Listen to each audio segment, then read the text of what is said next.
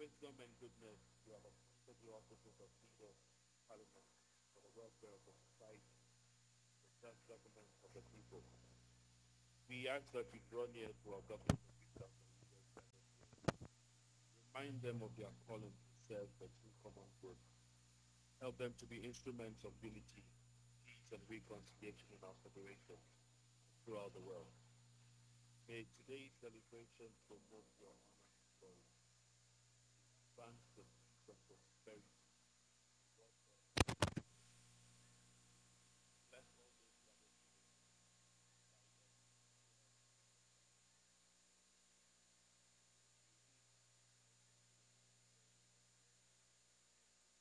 Residents, may our leaders never turn aside from your will. May today's proceedings begin from you, and by you may it be brought to a complete succession. We ask this through Christ our Lord. Amen. The name of the Father, the Son, and the Holy Spirit. Amen. Please be seated.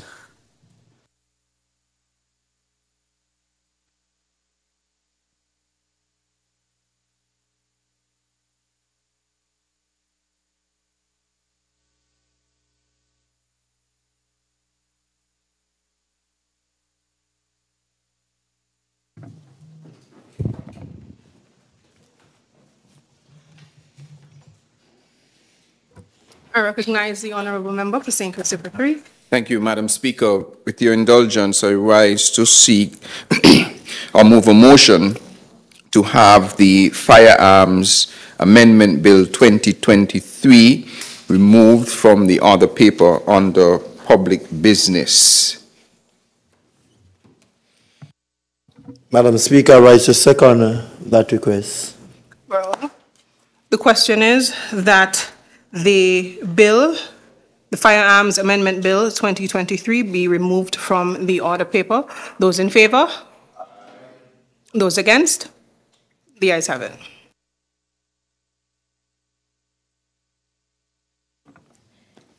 Confirmation of minutes.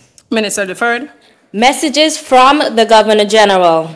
There are no messages from the Governor General. Announcements by the Speaker. I have two.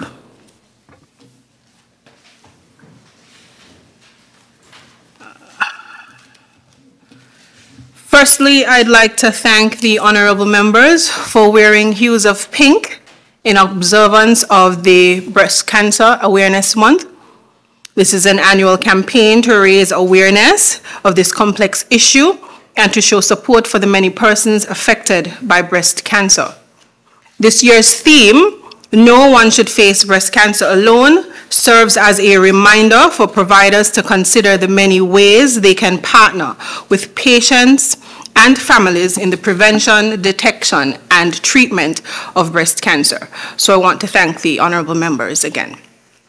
Secondly, and by way of apologies, uh, I have correspondences from the Honorable Premier and the Deputy Speaker, Senator Jones, who will be absent during today's proceedings as they are executing national duties. Those are the notices for this morning.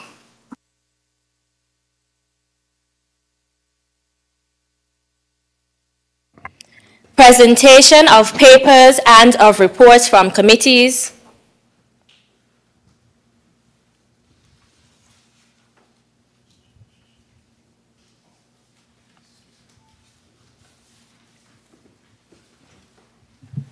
Madam Speaker, I recognize the honorable member for St. Christopher 8. thank you. Me arise to table before, um, place before this honorable house, um, the Financial Services Regulatory Commission of St. Christopher Nevis, December 31st, 2022, um, expressed in Eastern Caribbean dollars.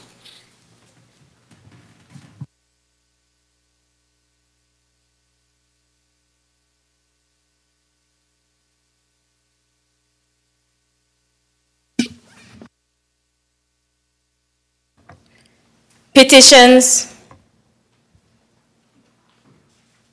government notices, unofficial notices, questions, request for leave to move the adjournment of the National Assembly on matters of urgent public importance, statements by ministers, Madam Speaker, would you leave once again? I recognize the honorable member for St. Christopher 8. Yes, thank you very much, Madam Speaker. Just very quickly, by way of update, uh, with respect to the ministries on the, um, that I, that I lead as the minister. From the Ministry of Finance, um, just to update the people of St. Kitts and Nevis that we will be taking our budget on the road. And this week, um, Tuesday, we'll be going to the large community. And then later this week, we'll update the other village, but it will be in constituency number four. Um, Madam Speaker, as we said before, it is um, in keeping with the principles of good governance, premise on the principle of openness, transparency, inclusion, to make sure that the people of St. Kitts and Nevis would have a say, at least um, in the budget um, process. This is the possibly the, one of the first times it is being done, and we intend to intensify it over the years as we go forward. We have already had um, a process where we had the youth of St. Kitts and Nevis meet with us um, at the Marriott um, Hotel, the ballroom area, where we engage in meaningful discussion as to the budget. And we heard from the youths of St. Kitts and Nevis, they made excellent suggestions, and many of them would have learned for the first time how the budget process really works. They also got an update as to the finances of their country, St. Kitts and Nevis. And so, building on that, we want to now take the budget out on the road so that our people in the villages and communities can have an opportunity to hear about where we are. We want to hear from them with respect to their suggestions and so forth so that we can have the best possible scenario in building out the budget for 2024. This is the initial stages of such action, but it's part of what we had promised the people, and therefore we want to comply. When people get the opportunity to really participate in the whole democratic process from different perspectives, having their input gives us the best scenario to create a robust democracy and also to help to build out our sustainable island state. Madam Speaker, just by the Ministry of Health, by notice, the government has bought, has bought a brand new CT scan machine, 128 slice. I know that Nevis has 128 slice. So in the space of St. Kitts and Nevis, we would have two very modern CT scan machine. So just in case the one in Nevis goes down, they can come to St. Kitts. And if ours goes down, they can go over to Nevis. So we are building a more robust health sector um, here in the Federation of St. Kitts um, and Nevis. And not just on St. Kitts alone, but Nevis is also doing their part. And that machine has been bought from Philips at a cost of 500,000 US dollars, a very reduced cost for it. And I want to thank our partners who have been contributing, who have contributed as well to make sure that this becomes a reality. And to this end, I will say the Ross um, School of Veterinary Medicine, um, their contribution went towards the purchasing of, of such a machine. It did not cover all, of course, but it did contribute to its purchase. And so I had spoken before about the MRI, which would serve both St. Kitts and Nevis. Nevis has a CT, we have a CT, so it gives us the best scenario. I've never spoken about it as a particular promise um, in any manifesto or anywhere, but of course, as you go and you govern, you look for opportunities to always create the best scenario for our people. And so we would have access to a very modern CT scan machine as well, which will be able to detect ischemic heart disease. What does that mean? If your heart arteries have blockages in them, instead of having to go on a treadmill necessarily, which is important at times, the CT scan machine is so um, so good that it can actually do it. The one in Nevis can actually do it if the protocols are set correctly. So that we know that heart disease is one of the leading causes of death here in St. Kitts and Nevis, and this machine would help us to detect early or detect critical cases and be able to intervene with the necessary treatment. To that end, I want to say, Madam Speaker, the reason why we have done this, we are now in the process of creating a cath lab. A cath lab is a lab where we can go into the arteries of your heart. I never spoke about this in the elections either, but this is something that we are building out. So we are partnering with a number of countries and, and developers. And I want to thank Dr. Laws, cardiologist, who is actually um, helping us to build this out.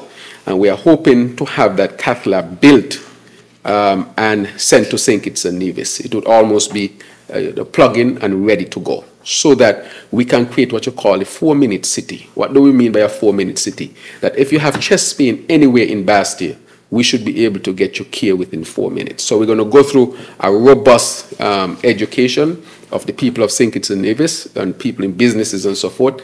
And we are also going to create what you call AEDs, automate, automated systems to resuscitate the heart. So if somebody were to collapse in here, those who work here should know how to use that machine. And it's only about an hour of training it takes for us to do that. So we want to be the first four-minute city in the Caribbean. And so we are building towards that as well. That would say to our tourists who come here that if anything were to happen to you, within four minutes, you have the best chance of survival. And so even though we didn't talk about it, this is part of that revolution in healthcare that we want to create. Are there issues in health? Yes, because we are shifting the culture, shifting what we deliver, making it as modern as possible. And in creating that um, four-minute city, we want to also partner with Nev Nevis. So anybody goes to Nevis, we want to also be able to help them to get that care, get to St. Quickly, and get into a cath lab if needs be. This is going to help us tremendously as we build towards a new hospital. As I've said, it is not just about building a new structure, but the services must be modern, and we must see the outcome being better quality of life um, for our people. On that, Madam Speaker, we have also promoted six nurses to become nurse managers. So we have created six more positions of nurse managers because we think that this creates the best scenario to manage the different wards at the hospital. And at this time, I want to congratulate the six nurses who have gotten, they went through a process of interviews, a rigorous process where a committee was put together, a panel, and then they were scored, and the scores were shared with all those who participated for openness and transparency. Of course, with anything you do, you always you can't satisfy every single person or every single scenario. But I always believe if we were to do it in an open and transparent way, that at the end of the day, having that as a cornerstone on which you moved forward with this process that will create a sense of, look, I have accomplished and the process was open and transparent and I would have another opportunity. And the reason why we did this is that nurses were not moving up enough. We had a lot of, a lot of nurses who are professionals, who have gotten their degrees, and so we wanted also, apart from better management, better outcome, which are the most important, to give the professionals an opportunity to move up. But not as a hand-picking scenario, but based on how you perform. So it doesn't depend on your age and those type of things. It depends on your competency and your ability to really um, produce um, in this space. And so we have done that. And so I want to congratulate those six nurses as we continue to build out not just the physical infrastructure in health, but in terms of the management structure and human resource um, enhancement to make sure that we become what we want to to come when it comes to the delivery of health. I also want to update um, the, the country on the renal transplant program. We had our another meeting last week where we brought all um, together and Dr. Patrick Martin, the advisor, and Dr. Ted Hanley, who is over our accreditation process, they are leading on this. And so we are going to set up our program in short order where we'll be offering um, renal transplant in St. Kitts and Nevis. Not just for St. Kitts and Nevis, but we want to offer it to the other countries around. Why is it we are doing this? There are a number of young people, Madam Speaker, who have end-stage renal disease, which means that they're on dialysis. We know what is the life expectancy on dialysis. We know the quality of life that one has to go through while they're on dialysis. The best scenario is renal transplant. Why? Renal transplant is cheaper, Well, let's put that secondary. The first thing, renal transplant, you live much longer and a better quality of life. You don't need dialysis and you can go back to your normal life. That's the first scenario. Secondly, it is cheaper than dialysis. Dialysis over an eight-year period is extremely expensive compared to a renal transplant for multiple decades. And so, from all perspective, renal transplant, it is the best scenario we can have once you need treatment. But of course, we believe in prevention. That is why we are saying to our people, exercise, eat well. Those two things, if you can't do anything else, there are a number of other things you can do. But eating well does not mean eat fancy. Sometimes it means eat less of what you have. More fruits, more vegetables. You can save money in St. Kitts and Nevis if you eat better, you know, Madam Speaker. Instead of two spoonful of rice, eat one. So you have another spoonful for the next day.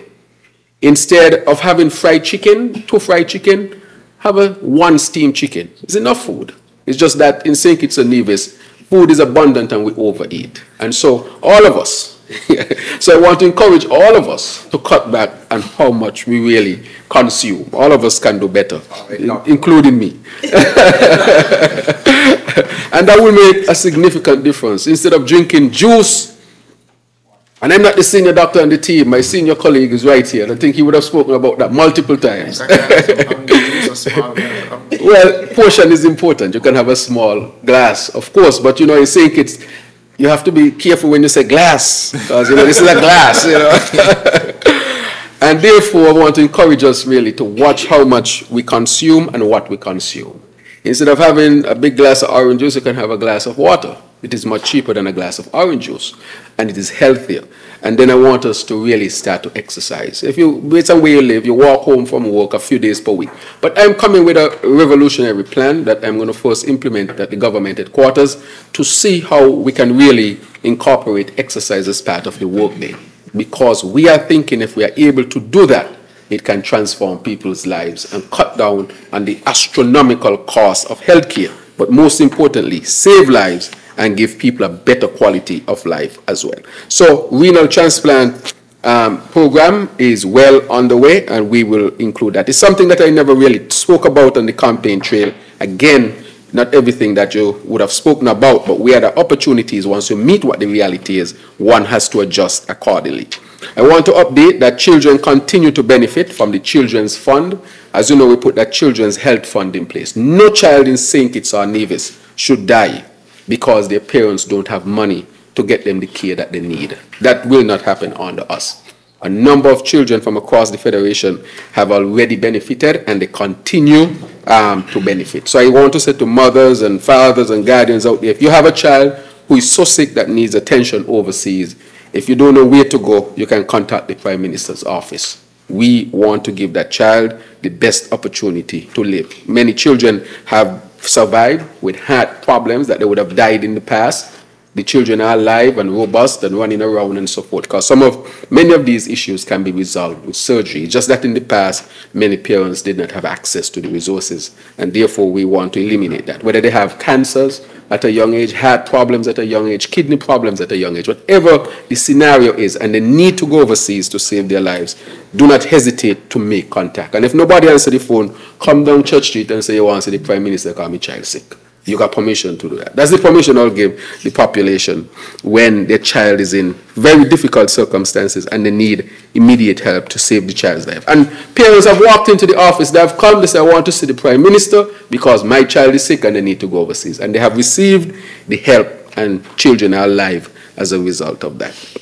Uh, Madam Speaker, from the Ministry of National Security, as you know, last week the task force of dealing with violence from a public health perspective met. In that meeting, we had advisors such as Dr. Isben Williams, who is one of the lead experts in the Caribbean on this matter, who had been sounding the call for many, many years about the violence in the Caribbean that can erupt if we don't deal with it at its base level, or its foundation. And therefore, it, it, it, it, we are putting it together. I want to thank him, of course, for his expertise, and he's now putting the action plan together. I want to thank Dr. Patrick Martin as a pediatrician who also was on the same page with Dr. Isben Williams, who is a psychiatrist, of how we can do it. I want to say that we also had from Ministry of National Security, Education, Health, and so forth. This is not just national security. We are dealing with human security. National security is just a part of it. So we are going to deal with this issue comprehensively once and for all. Why?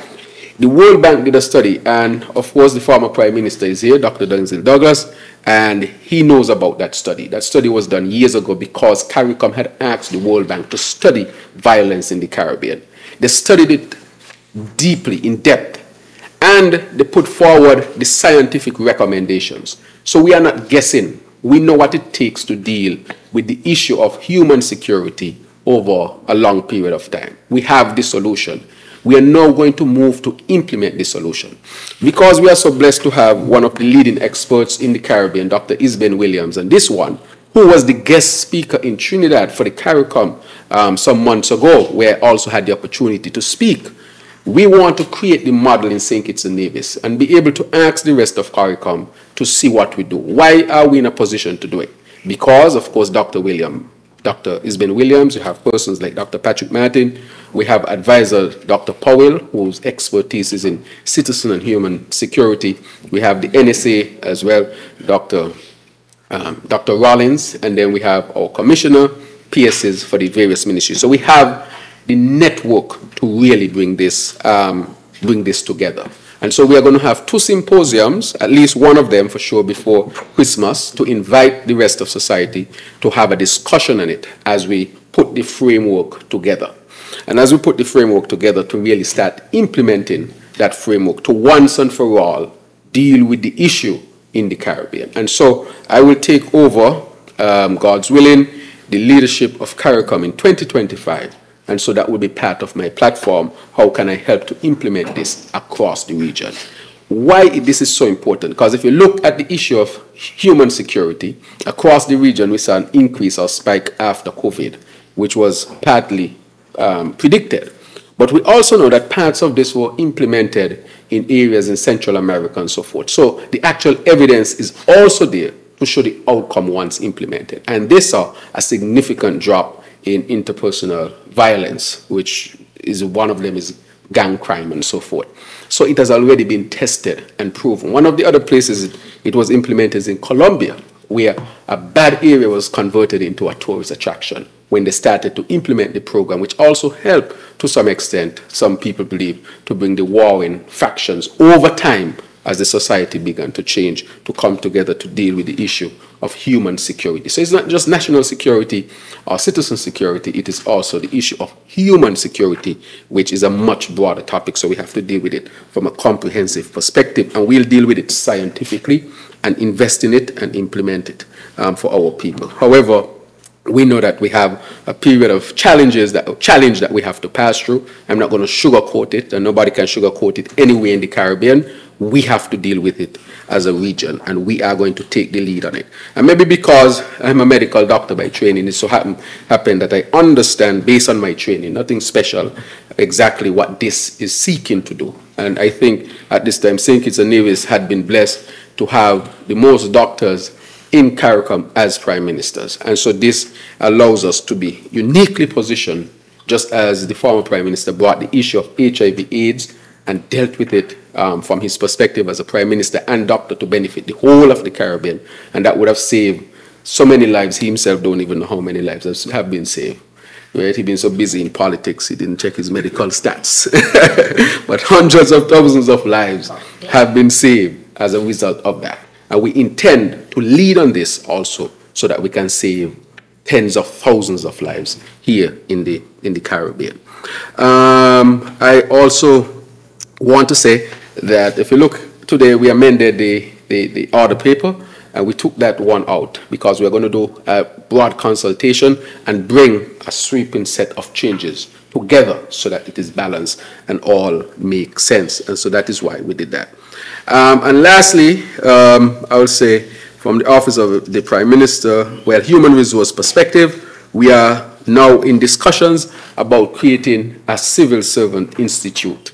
What does that mean? Because we hear over the years um, the issues with the civil service, and that I'm not going to sugarcoat. We are trying to deal with it robustly in terms of training and so forth and customer service, but we are going to set up an institute which would formalize to a great extent the training that civil servants have to go through to be a part of the civil service. And that type of training would result, we think, um, in better service um, to the people of St. Kitts and Nevis who so deserve it. So we are on the pathway for that as well.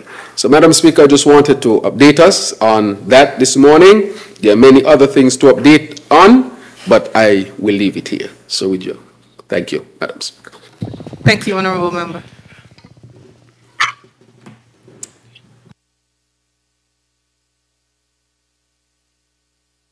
Are there any other statements?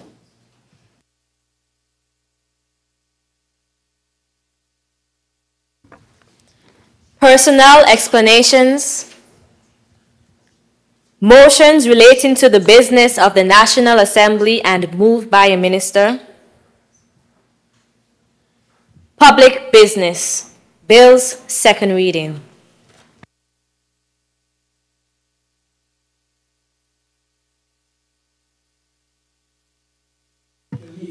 I recognize the Honorable Member for St. Christopher Sixth.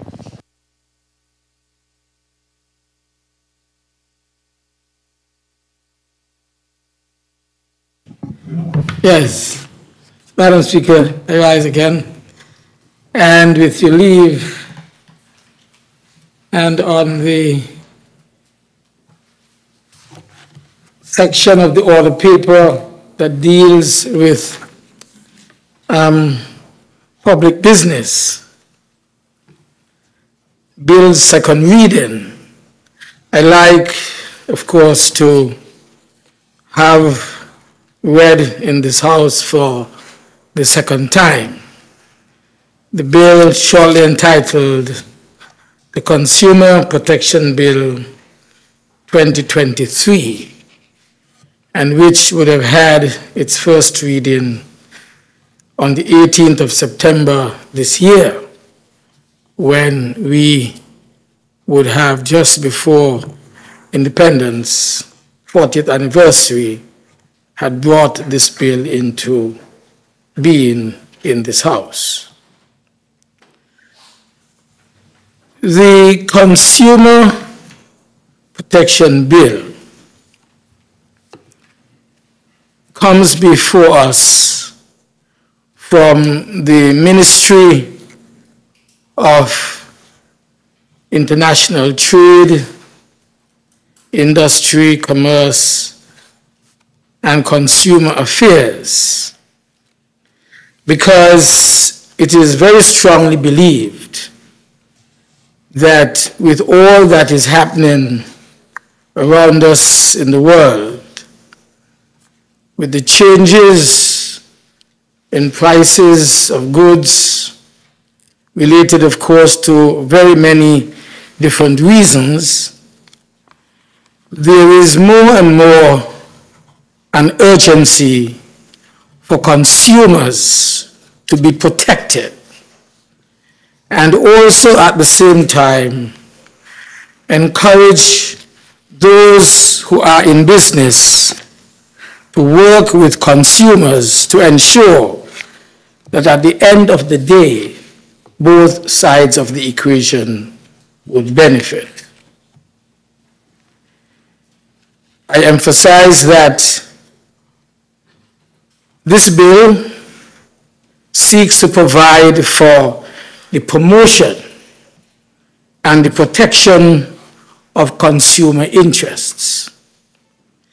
In relation to the supply of goods and the provision of services, and to ensure that there is appropriate protection of life of health and safety of consumers.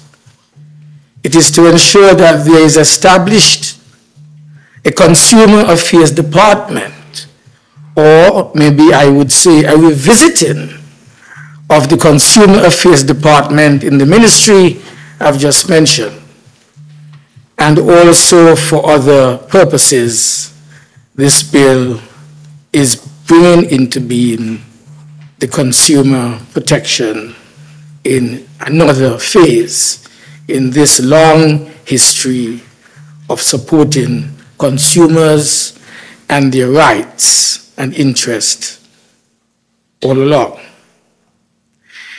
I want to emphasize that the bill is replacing the Consumer Affairs Act, Chapter 18.38, which was published as an act, as Act 9, I should say, back in 2003, and which was brought into force in this assembly on the 8th day of December 2003. In other words, 20 long years ago. The Consumer Affairs Department, in fact, was legally constituted in 2003 through the passage of the Consumer Protection Act of 2003. And this act provided at that time the legal framework that would ultimately guide the officers therein on how to conduct the daily functioning of the department. Additionally, it highlighted the legislative scope of the Department of Consumer Affairs and the way in which the department should be structured in order to function as a quasi court, a quasi court for consumer protection issues. But, Madam Speaker, over the last 20 years of the existence of this department, many internal deficiencies have been identified as contributing factors that would have happened, that would have hampered the ability of the department in performing its duties effectively and efficiently. Today, we are here in this parliament to debate the Consumer Protection Bill 2023, which is envisaged to give officers of the Consumer Affairs Department more legislative authority, or as we would commonly say, teeth in order to accomplish their daily task as consumer protection officers. There was a time when we had um, price control officers. That's no longer used. The system has been changed as a result of appropriate legislative action. And so when we from time to time recognize that prices would have moved on the shelves from one day to the next, or from one week to the next, or one month to the next, we would commonly say, well, what is happening with these price control officers? Don't they see that the prices are going up every day and they're doing nothing? Price control officers do not exist and would not have existed for quite a while. But instead, as I said, there were put in place consumer protection officers but we recognize that they could not function at peak and with highest efficiency because there were some legislative lacunae which prevented them from really operating the way that they should. I know this you like the word lacunae.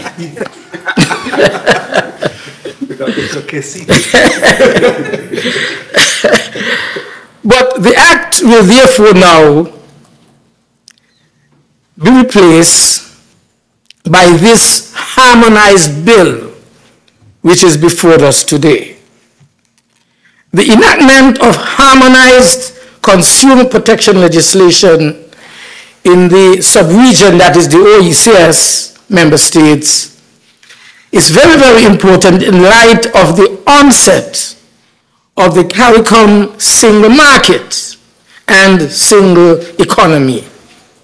In this new environment, the OECS member states are required to move away from exchange controls and price controls and to move towards what we call a liberalized market. Now, this piece of legislation is, as I said, a revision of what would have been the old act. In fact, part two of chapter 8, which of course make reference to articles 184 of the legislation, 184 to 186 of the legislation, of the revised Treaty of Chaguaramas, which would have established the Caribbean community, including the single market and economy. Member states specifically in that piece of document, member states are required to promote and to protect the interests of consumers in the community by appropriate measures. And in Article 185 in particular of the revised Treaty of Chaguaramas, it provided member states with, or in fact, I said it provides that member states shall act in a harmonized legislative framework that is aimed at protecting the consumers of St. Kitts and Nevis as, of course, the consumers of the rest of the sub-region.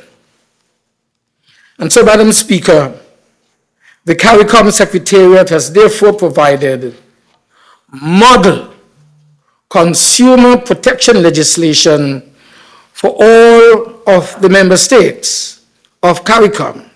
And the OECS Secretariat has dutifully tailored that model legislation to better meet the needs of the OECS member states within the wider CARICOM um, region.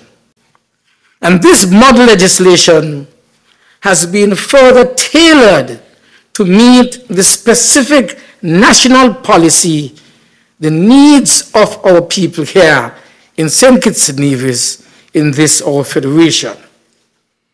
In this regard, I want to thank the, um, the chambers of the Attorney General and the relative um, legislative attorneys, draft attorneys, who have been working on this piece of legislation for some time.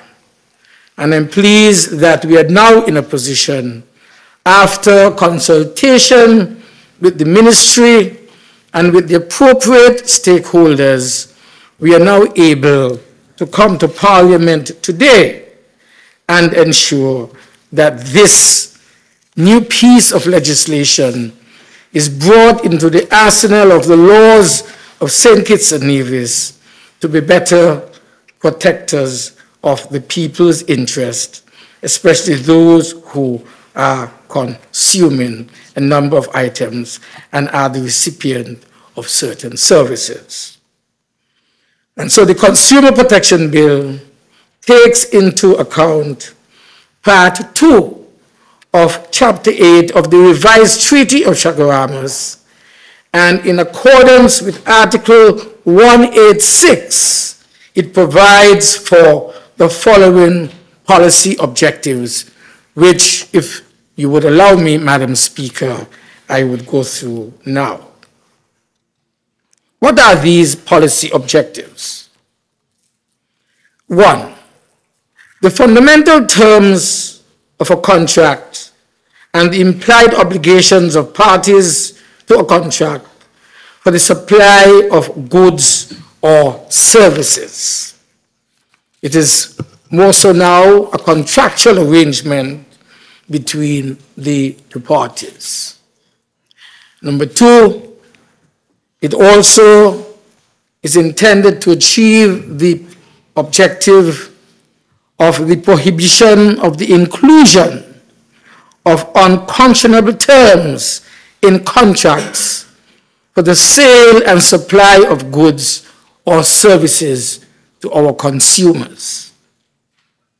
Three, another objective is the prohibition of unfair trading practices, particularly such practices that relate to misleading or deceptive or fraudulent conduct. Four, the prohibition of production and supply of harmful and defective goods and for the adoption of measures to prevent the supply or sale of such goods, including measures requiring the removal of defective goods from the marketplace, from the shelves, from wherever the market is. Common complaint that we would have had that consumer protection officers under the old legislation, the visit, identify goods that they believe with good reason are defective. Those goods are ordered off the shelves.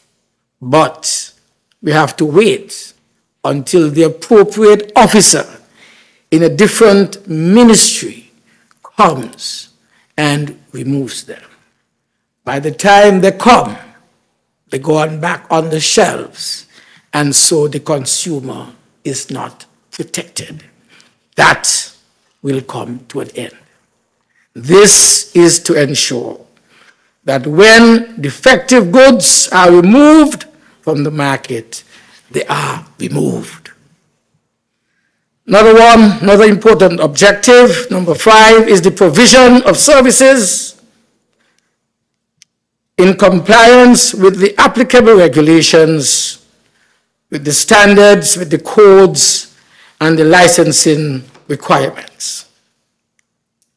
Six, that goods which are supplied to consumers, that they are appropriately labeled in accordance with the standards and specifications prescribed by the competent authorities. We have seen that the date of expiration of goods removed, that, is have, that will have to come to an end.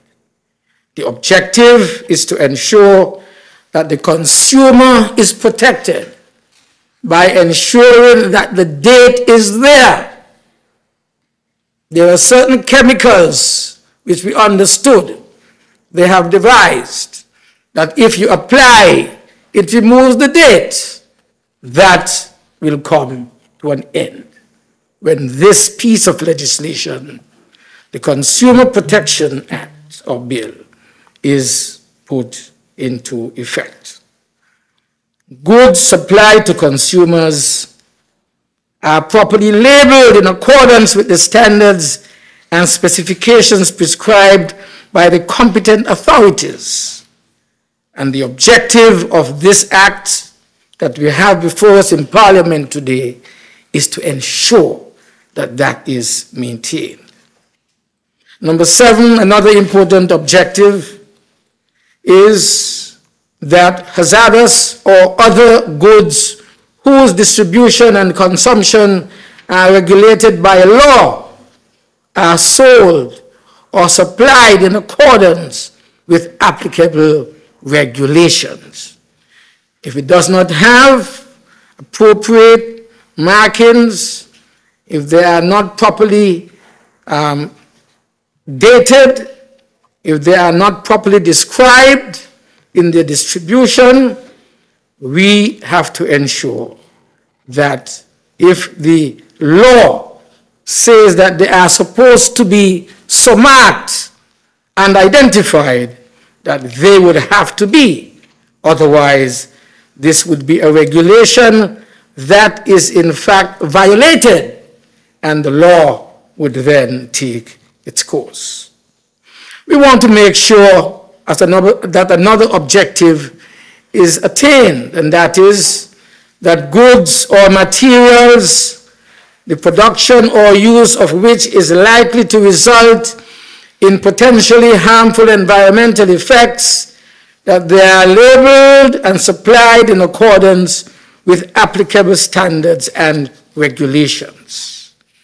We want to make sure that goods which can have harmful and environmental effects, that they are so labeled and they are, they are in fact supplied in a particular way according to specifications.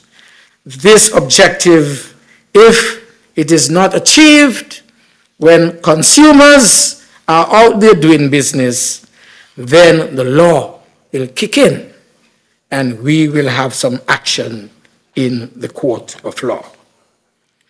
Another important objective, Madam Speaker, is that producers and suppliers are liable for defects in goods and for violation of product standards and consumer safety standards, which occasion loss or damage to consumers. This also is very, very important. If I bought a good particular product from a particular supplier and it caused me to be sick, and I am certain that it came from there, you are liable for violating my health, and you shall pay. This is very, very important for protection of our consumers. Another important objective, Madam Speaker, that we wish to attain by this new piece of legislation is that violations of consumer safety standards by producers or suppliers are appropriately sanctioned and relevant civil or criminal defenses to such violations are available to defendants. So if there's a poor boy, a poor woman, an elderly, she ain't got no money to go to a lawyer to ensure that her rights as a consumer are protected. This law says, this law we will put into place today says that she should be able to be provided with available legal support and defendants of what she thinks would be her right, her claim, I should say, for that right that would have been violated. So, Madam Speaker, permit me now to highlight a few salient features of the bill apart from the objectives I've just gone through. If it is enacted into law, and I hate to think that the opposition will not support this bill. So if enacted into law, and I can say when enacted into law, this bill will be applicable to all persons involved in trade and commerce, whether through purchasing or supplying of goods or services, and the bill would also be binding on the Crown. Binding on the Crown. That is, government, of course, is bound to be involved in such transactions. The Consumer Protection Board, therefore, will be established.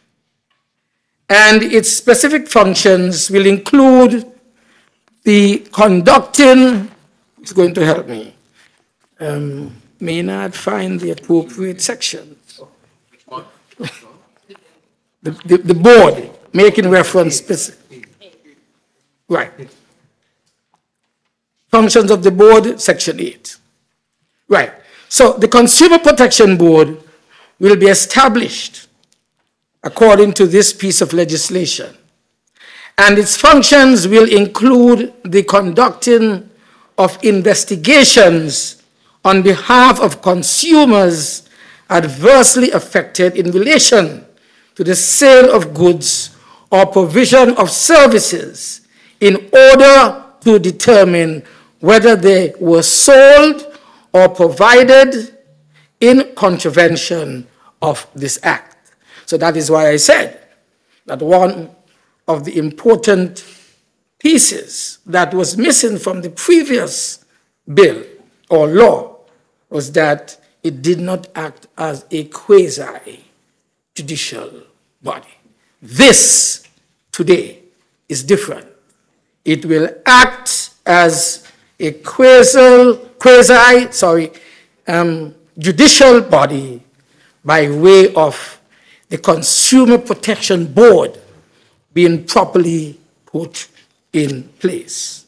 What does it say about the board? Let me go through this first. Right.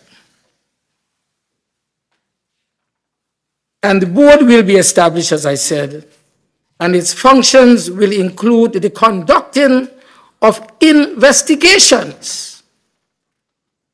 Investigations on behalf of consumers who have been adversely affected in relation to the sale of goods or services which they would have obtained in order to determine whether there was really a violation of the act and whether a claim by one who would have been violated is established or not. Now, and as a result of this investigation that would have been done,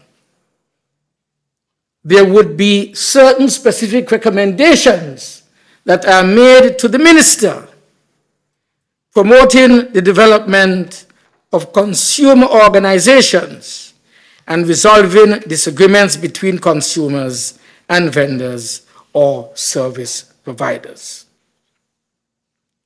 The bill provides, therefore, for the procedure for investigation of complaints by the board or the department responsible for consumer affairs, and the board will be empowered to summon persons. That is why we said at the beginning it is now a quasi judicial body.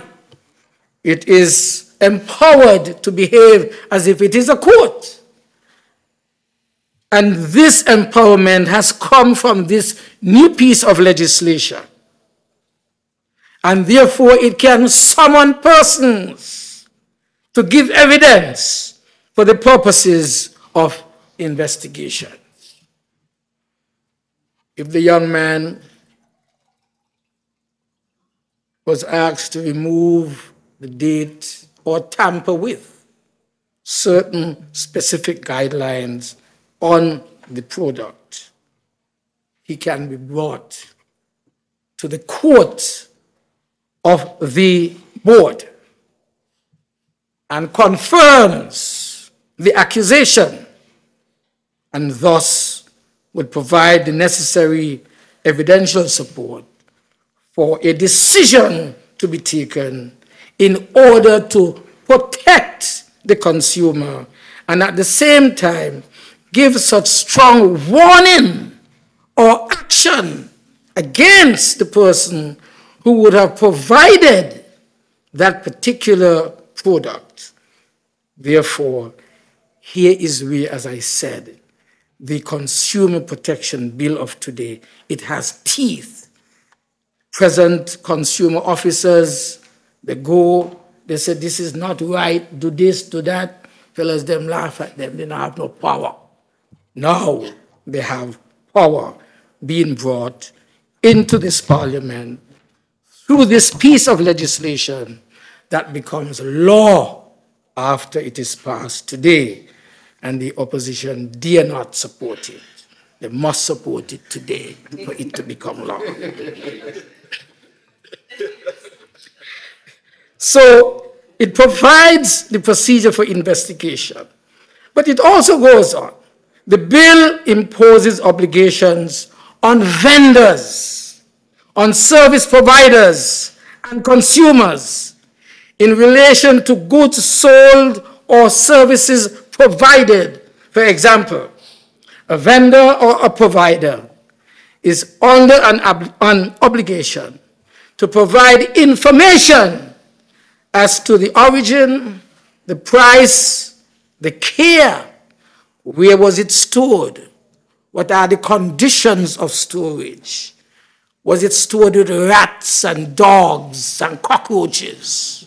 These are important matters that will now come to play as we try to protect our consumers and ensure that there's a harmonious relationship between the consumer and the provider of goods and services. So it, the, the, the provider is under an obligation to provide information as to the origin. Now, if you smuggle it, where you get it from. You can't have smuggled goods on your shelves. If you do what we know when you talk about Barris the singer, if it appears on the shelf, where you get that from? These are the important questions that the consumer protection officer can now ask and must get answers in order to protect those who are being provided with these products. So, that is why it is important to say where it came from, the terms, etc., of the goods being sold. Thank you. Right. The vendor or service provider is also under obligation to provide receipts and warrants. You know how many people sell stolen goods? Huh? You know how many people sell stolen watches and rings and chains? Huh? You know how many people do that? And we are saying that when there is reason for the consumer protection officer to ask questions to ascertain the origin, they are expected to be given appropriate answers according to this piece of legislation that is here before us today. Madam Speaker, the bill also will prohibit vendors or service providers from committing a number of offenses, including misleading or deceptive conduct, misleading the public as to the nature of goods and the non delivery of goods. This is important. You buy something, you don't purchase it, it's there to be delivered. Two months after, the guy sold it again, maybe three times he don't sell it. These things must come to an end. Not everybody doing that, but those who do it. Just last week, a lady was telling me she paid for some things, and up to now we didn't receive. Well, the weather was bad. So I said, maybe it's the weather. I hope it's the weather. You understand? So these are practices that sound simple, everyday simple things. But the consumer must now know he can make noise. He can do something if he believes that he is not receiving what he expects to receive after completing the transaction on his end with the, consu- with the provider of the important service or the goods to be delivered. So the bill prohibits vendors or service providers from committing a number of offenses, including misleading or deceptive conduct, misleading the public as to the nature of goods, and the non delivery of goods as well. Madam Speaker, the board and the Consumer Affairs Department will be responsible for the administration of the bill.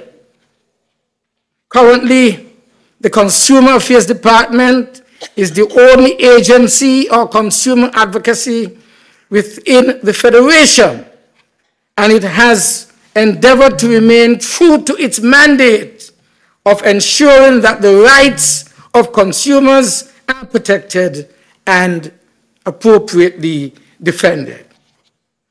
In this regard, consumers have consistently been educated, informed, and empowered to make more knowledgeable business decisions in the marketplace through the utilization of various outreach platforms, including radio and television interviews, town hall meetings, and the dissemination of information via the department Facebook page. We are determined to ensure that the consuming public is educated. You know how many people go and get a top up? $20 top up. After use for a few minutes, the money gone. No, Seriously. But we don't know that this is a serious violation. This is happening almost every day. But I thought I had a top up for $20. It's only $5 use you get of telecom time.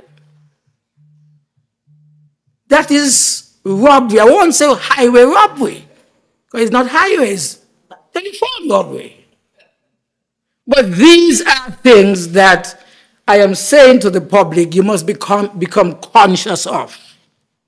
Make sure the money that you are spending to get a service, that you receive it.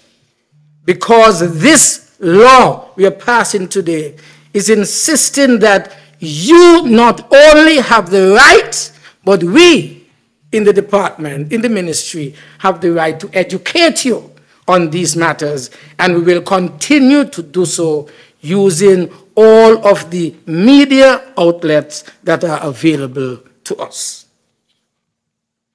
It is in keeping with the mandate of educating the masses that in 2023, the Consumer Education for Kids pilot program was launched. Where do you think it was launched? At St. Paul's Primary School at Sadler's, you remember? Those of you who were paying attention. And also, eventually, that same afternoon, at the Dr. William Connor Primary School. And the objective was to bring the importance of consumer protection to the kids in their very early stage. That they understand. There was a quiz. There was also a quiz at Kunai. The, the evening, we had a quiz at Kunai. And who won? Irish Town won. That is yeah, I, I, Town won. That is a that is a fact. And it's in keeping with this mandate that we are bringing the learning, the knowledge, the information to the kids so that they can help their households in, in being protected from those who may be, may be unscrupulous and are providing um, goods and services which are not in keeping with the contractual arrangement made by the consumer and the provider of the goods or services. Additionally, I want to make the point very quickly that a key objective of this program is to encourage students to share their own newfound knowledge with their family and friends. And since the launch of this particular pilot program, the Consumer Affairs Department has engaged in discussions with the Ministry of Education and its curriculum the development unit in order to further discuss having this particular program become a fixture within, a fixture within the curriculum of all our primary schools. After having the proposed lesson plans vetted by the school, by the social studies curriculum um, coordinators within the Ministry of Education, I want to report that this new initiative has already been given the green light to be taught at the primary school level during social studies classes for the 2024 academic year.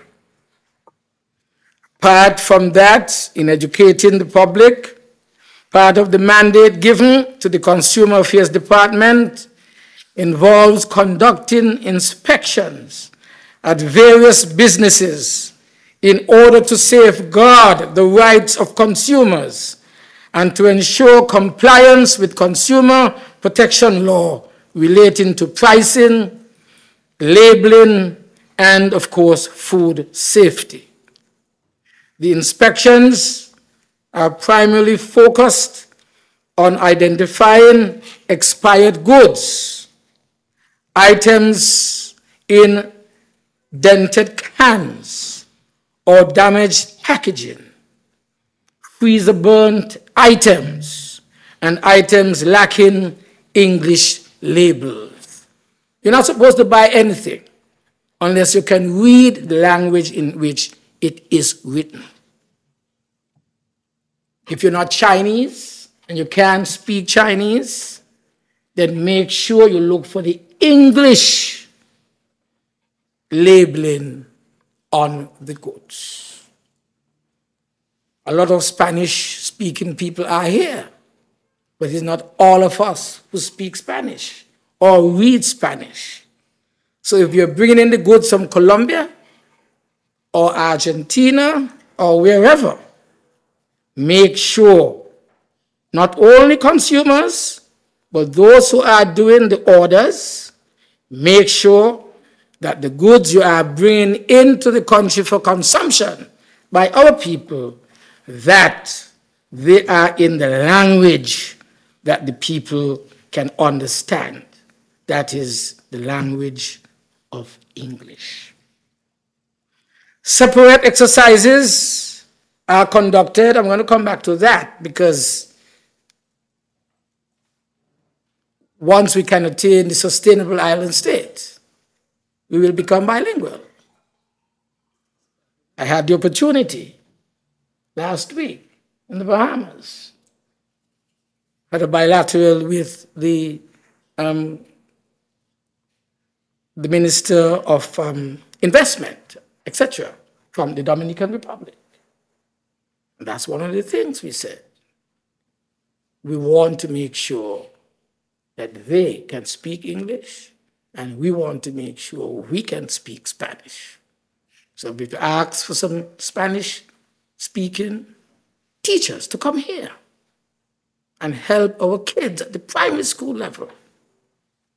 When I was going to high school those days, grammar school, you started Spanish only in third form. And Spanish was an alternative to biology. Well, I became a doctor, so I did the right thing. I went to do biology, but it deprived me of Spanish. So we want to make sure that we are bilingual here in St. Kitts and Nevis. We'll hear more about that. So I want to make the point that separate exercises are going to be conducted for the main purpose of collecting price data, which is essential in maintaining a detailed pricing database for all basket items sold at the 46 large and medium-sized supermarkets across St. Kitts. We want to make sure that they have, the consumer protection officers have access to all 46 major, large to medium supermarkets across St. Kitts. They are therefore going to come in and conduct the appropriate exercises to ensure that the bill and its specific objectives are being attained as a result of applying certain guidelines which are to be applied by the consumer protection officers in visiting the establishments. For the year to date, approximately 21,000 items have been removed from business shelves. Is that a lot? Maybe it should be four times that. But so far, the statistics that we have indicate that 21,000 items have been removed from business shelves and syndicates during these inspections which are carried out. This alarming statistic highlights a lack of compliance exhibited by many of our businesses. The department has been diligent in its efforts to educate and advise business owners about the importance of adhering to these laws. But it appears that without the proper ability to penalize, that's why we needed this legislation. It needed to be given teeth and power because it needs the ability to penalize non compliant businesses. And there continue to be a continuous, blatant disregard for consumer protection practices simply because they know that these young ladies who visit them and the young men who visit them as protection officers that they have no power as such to do anything except hoping that they, the business people, will comply with what they are asking. And so the passage of this bill would really better empower the Consumer Affairs Department to strictly enforce and uphold the outlined consumer protection framework contained in this bill.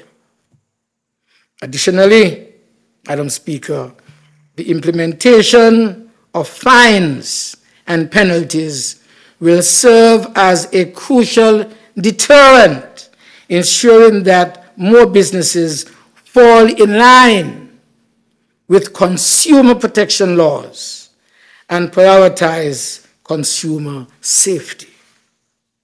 We will ensure that all parties are appropriately educated. There can be no excuse that, well, we didn't know the law. You must know the law. We will help you to know the law.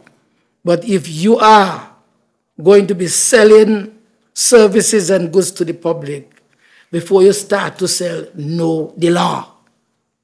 You have an obligation to know the law.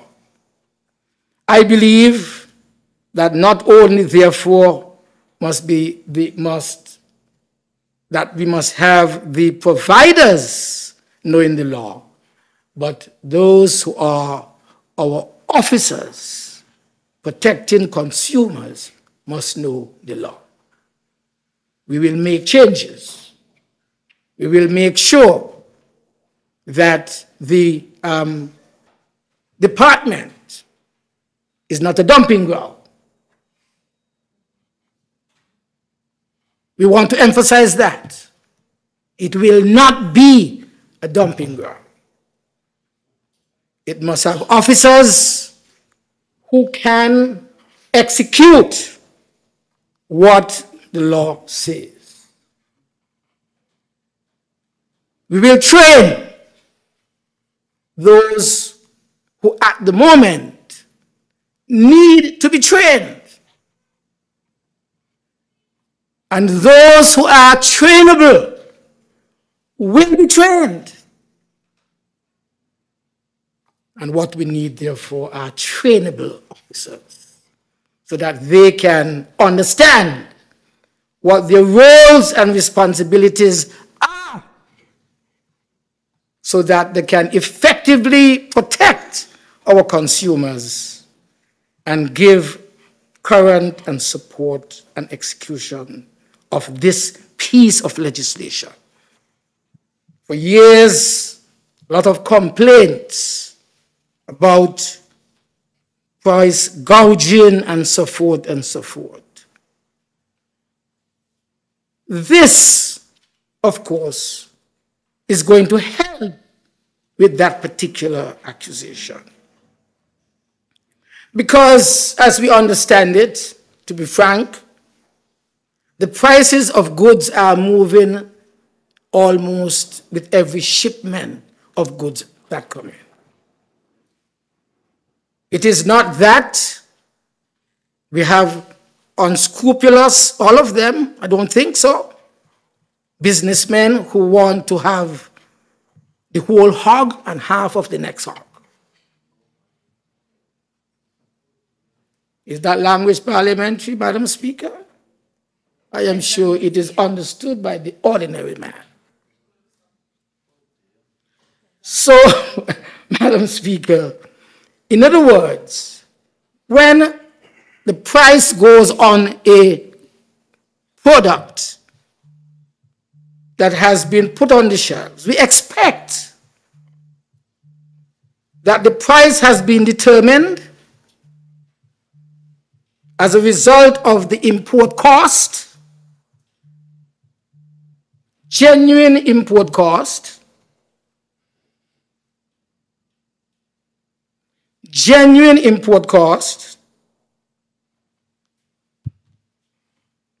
and the markup, which is allowed by law, imposed, of course, set by the government. Anything out of that is price gouging, and we're going to come after them.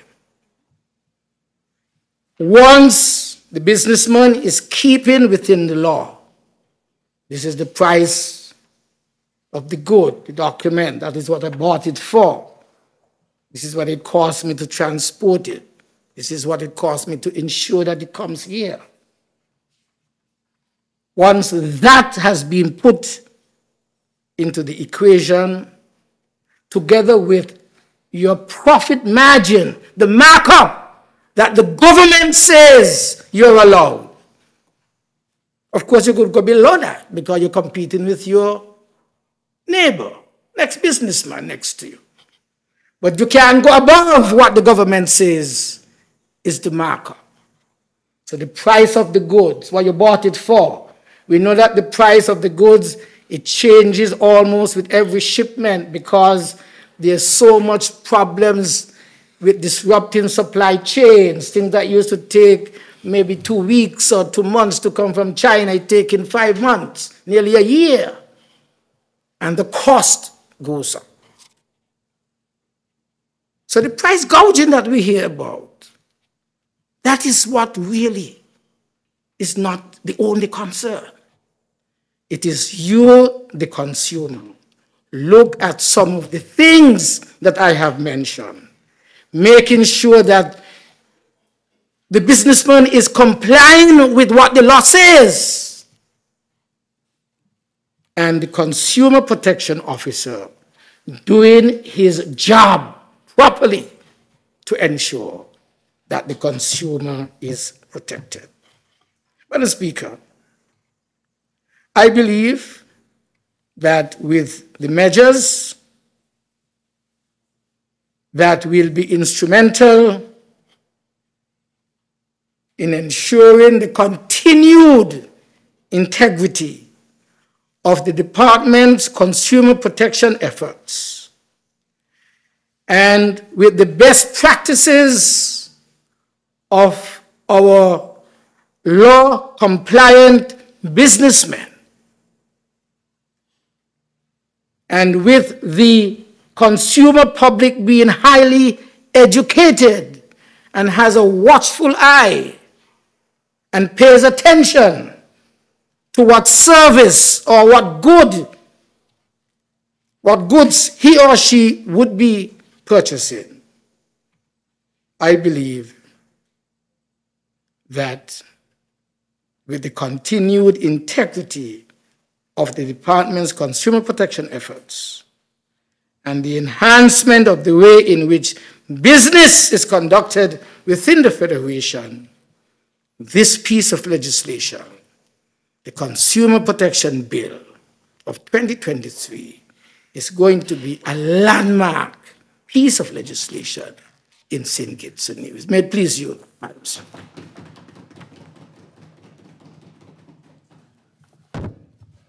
Thank you to the honorable member for St. Christopher Six, mover of the bill.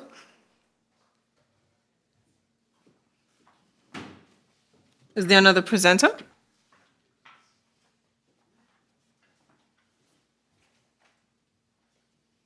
I recognize the honorable senator, Dr. Clarke. Oh, this one. Greetings, Madam Speaker.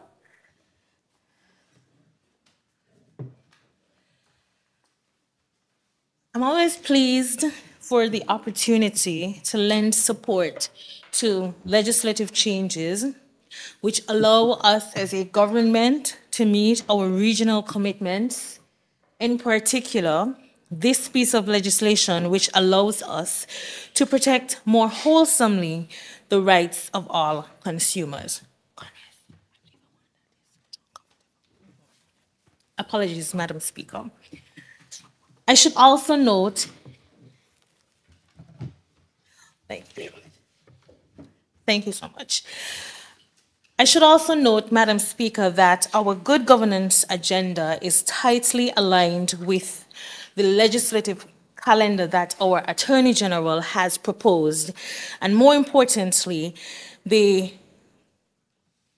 legislative agenda prepares a very solid base for the transition of our country to a sustainable island state. This is not premised solely on environmental matters, but how we can live and thrive and transact business more sustainably, how we sell, buy, and survive in St. Kitts with responsible consumption. As such, I'm happy today to be able to speak not just to the legislative changes for the Consumer Protection Bill, but to provide a framework of how these changes can support the diversity of consumers in St. Kitts and Nevis, whether you're visually impaired, young, old, rural, urban, whether you can read really well or cannot read, whether you can calculate maths really fast in your mind or not, and how the government, the consumers and the suppliers can work together to ensure the safety and survivability of all when we consume products. As outlined by the mover of the bill, the changes that we're debating today are really premised on trust and trust building and something that we often take for granted. When consumers can step into a store and can trust that their suppliers are providing them with quality products, with products that are as labeled on the packaging, with products that are not expired, and with products that are not against environmental regulations or chemical regulations, it must be based on trust. I must trust that my dollar that I spend in a store for item A is the same that person who went in in a store before me, it's the same dollar, it's the same quality, it's the same value. I think also part of the breakdown in trust for consumers in St. Kitts, and I can speak on my own behalf, is entering some stores, and I'm happy that the legislation addresses this. You enter a store, Madam Speaker. There are no signs. There's no sign which says no refund. There's no sign which says no card payment below $20. Thank God that's no longer legal to even say. There's no sign which says no exchange. Yet you purchase something, you step out, and maybe for some of us, you step into an see it for like $5 cheaper and you want to go back and get your money. Ah, you change your mind. And you go to the store. Oh, sorry, miss, we don't exchange. What? Where's the sign? What do you mean you don't exchange? What do you mean I can't get my money back?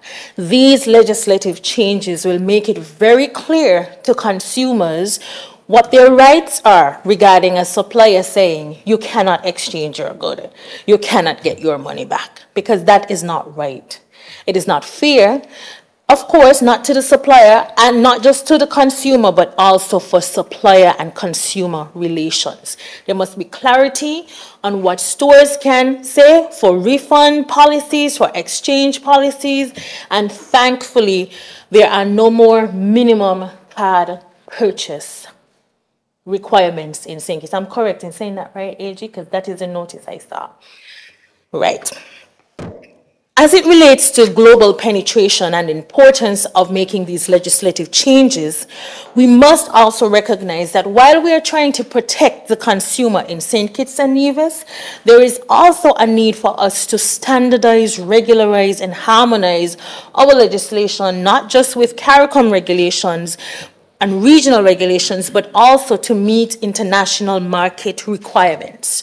International market penetration and our ability to attract increased investments is directly linked to the update of our legislation, critical pieces like the Consumer Protection Bill. We must therefore comply with international trade norms which facilitate cooperation, growth, and empowerment. And importantly, linked to this global penetration is allowing for innovative solutions to enter our marketplace. Oftentimes, we travel, we return, and we wonder, why isn't this in St. Kitts? Why can't we have this innovation? We can, but with innovation comes a need to protect the innovators, the entrepreneurs, and the consumers. So I am very pleased that this piece of legislation also allows for this level of protection for entrepreneurs as well as our consumers. As it relates to safety, Madam Speaker, this goes beyond just ensuring that, and I'm not trivializing it, ensuring that expired packages are removed from a shelf. Now, for example, if you are like me, and I am certain that there are many persons like me, I cannot purchase a piece of item without checking the expiration date a hundred times. I don't know why I do it. And I'll refer to one of my favorite snacks, which happens to be Crix, crackers, especially when it is raining, right? Crix. But Madam Speaker, the worst, the worst experience I've ever had in my life is you go in and you blindly take up a pack of Crix and you get home and you shower and you put on your tea. I know it sounds like I'm geriatric, but still, you, you put on your tea, you have your little cheese or whatever, and you take the Crix and you bite it and the Crix still.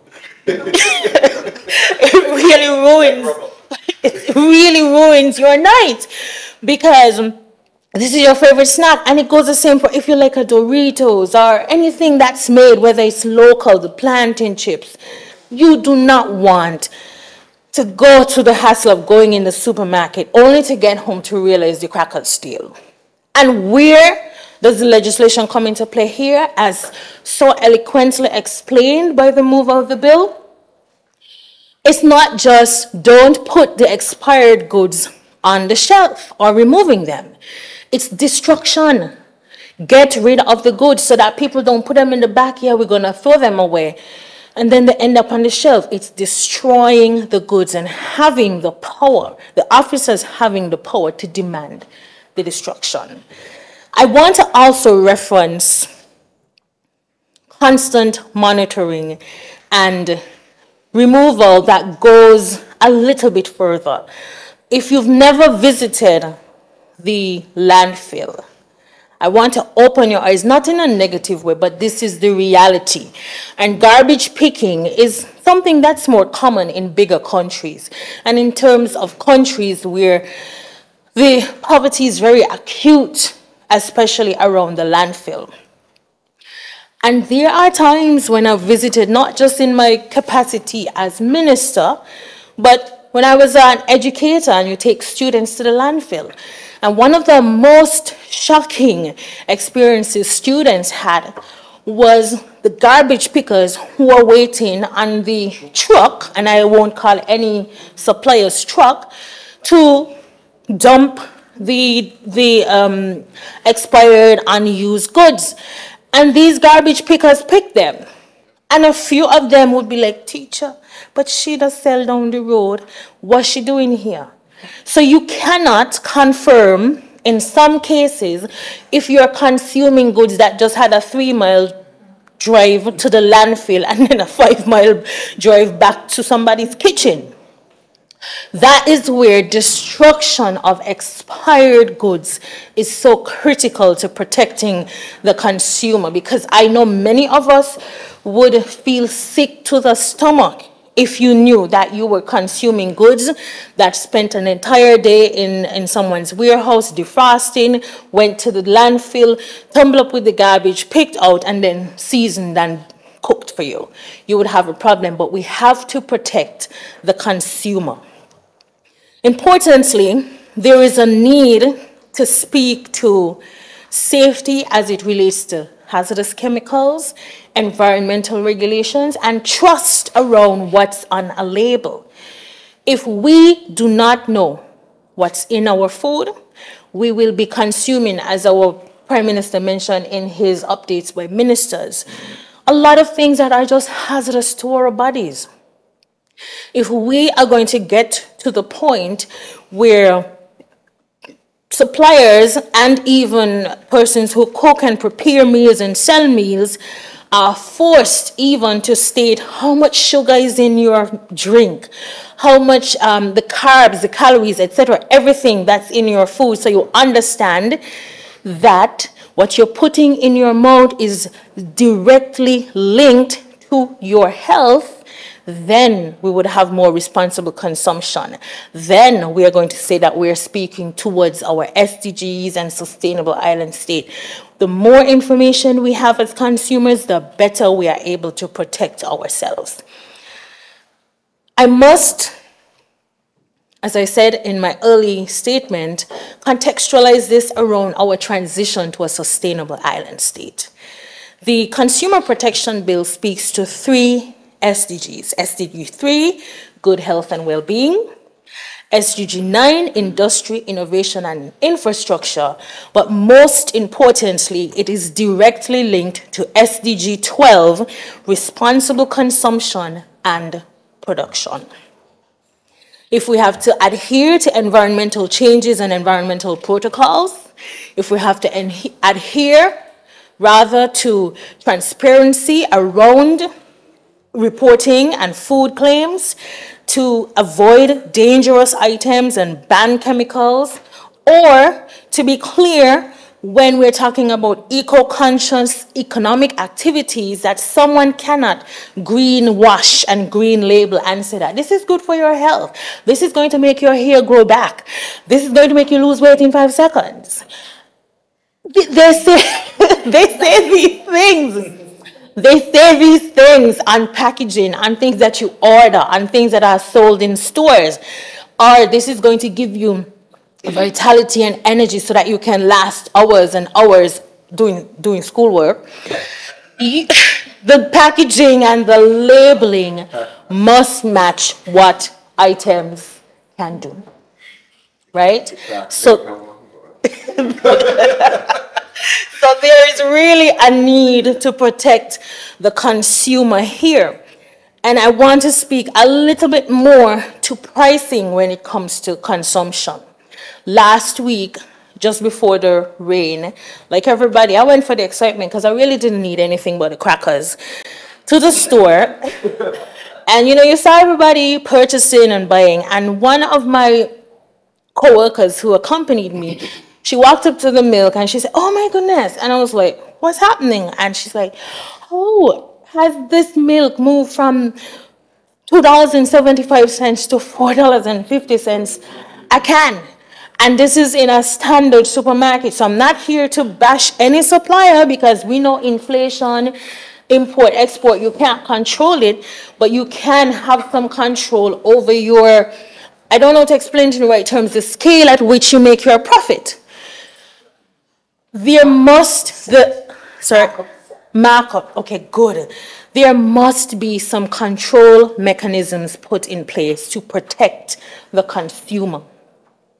And in particular, to protect consumers, not just in urban settings, but in rural settings. There was a time when persons said, you know, um, milk should be more expensive in the country. And the question was, why? Because the supermarkets in the country, the shops, mom and pop shops and so forth, have to pay a little bit more because of the transportation cost for items moving from town to St. Paul's. Okay? But if you check, are the suppliers charging a, a transportation cost for the goods, a delivery cost? Oftentimes there is not a delivery cost, so there must not be a translated increase in cost of our milk in a shop in St. Paul's versus milk in a store in town. Nor should consumers in St. Kitts have to go to Value Mart to buy milk, Rams to buy butter, um, Kumars are not propping up anybody, but I'm going to call out of them. Kumars to buy um, diaper, Best Buy to buy sugar, and just because you cannot guarantee the price across supermarkets. Prices should be similar. However, businesses are free to do whatever markup they want, but it must not be exor- exorbitant. Can be beyond what Right, beyond the law, right? Because if you want to be a bougie supermarket and sell the milk for four seventy-five when everybody's supposed to be selling it for four seventy-five, consumers must have choice, but consumers must be protected, and it's the legislation that does this. I must also mention moral ethics and ethical responsibility, which is something that some people think does not exist in a capitalist world or consumer governed world, but it does. Because the, the idea of consumer protection is really about morals. The businesses and companies that do not want to point their moral compass north are guided and regulated by this legislation. Trust comes from ethics. Trust building comes from consumers and suppliers knowing that they can trust each other, knowing that the purchase of the Crix crackers is Crix that was manufactured just a month ago and it's fresh, that it's stored in a safe place in the warehouse, that it's not extracted from the landfill, that when I use it, I can be comfortable knowing that it is Crix made with real flour. I recall a couple months, no, a couple years ago, when there was this, for me, I don't even know if it was a crisis, but everyone was saying, oh, plastic rice. Y'all remember when there was this claim that the rice wasn't real and you are consuming it and it's making you sick? Now, how do we protect consumers from having to worry about plastic rice if we don't have this right legislative amendment? It's clear. And further, we know that some countries, if there is a drought, if there is a problem, if there, if there is a crop failure, as was experienced just recently in India, where they control the exports of basmati rice to the international market, the price is going to change. How do we protect consumers from unscrupulous, immoral, unethical suppliers who are going to go somewhere else in some part of the world to get some fake product and label it as basmati rice? We have to make and support this legislation. I want to also reference another experience that a friend of mine had with purchasing a bike for Christmas. And it's just a coincidence that Christmas is on its way. A great auntie, she wants to buy a bike for all her nieces and nephews. She goes to a store in town and she says to the supplier, I would like to purchase this bike. Number one infraction, Miss, I don't take card, right? I only take cash. You have to go around to the ATM, come back with the cash. By the time she gets back with the cash, the bike is still there. She was told 350 for the bike, 350 cash. The bike is still there with a second option that she did not want. And the supplier says to her, the bike is no longer available you must have this one. She says, no, you just told me this bike, 350, go and get cash. But what happened?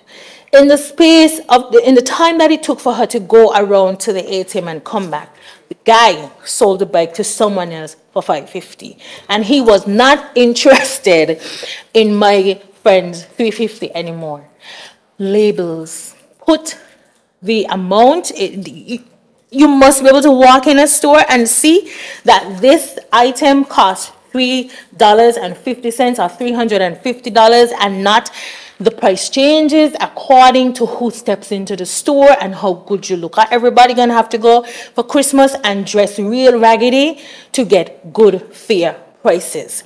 So there's a need for us to protect the consumer. And the suppliers, again, as I want to echo the sentiments of the move of the bill, the suppliers must be educated as well because some persons are acting and not really aware that they're breaking the law and they're putting the consumer at harm. So there is a need for us to quickly support this, pass it, and move it along. And lastly, I want to mention inclusivity and social equity.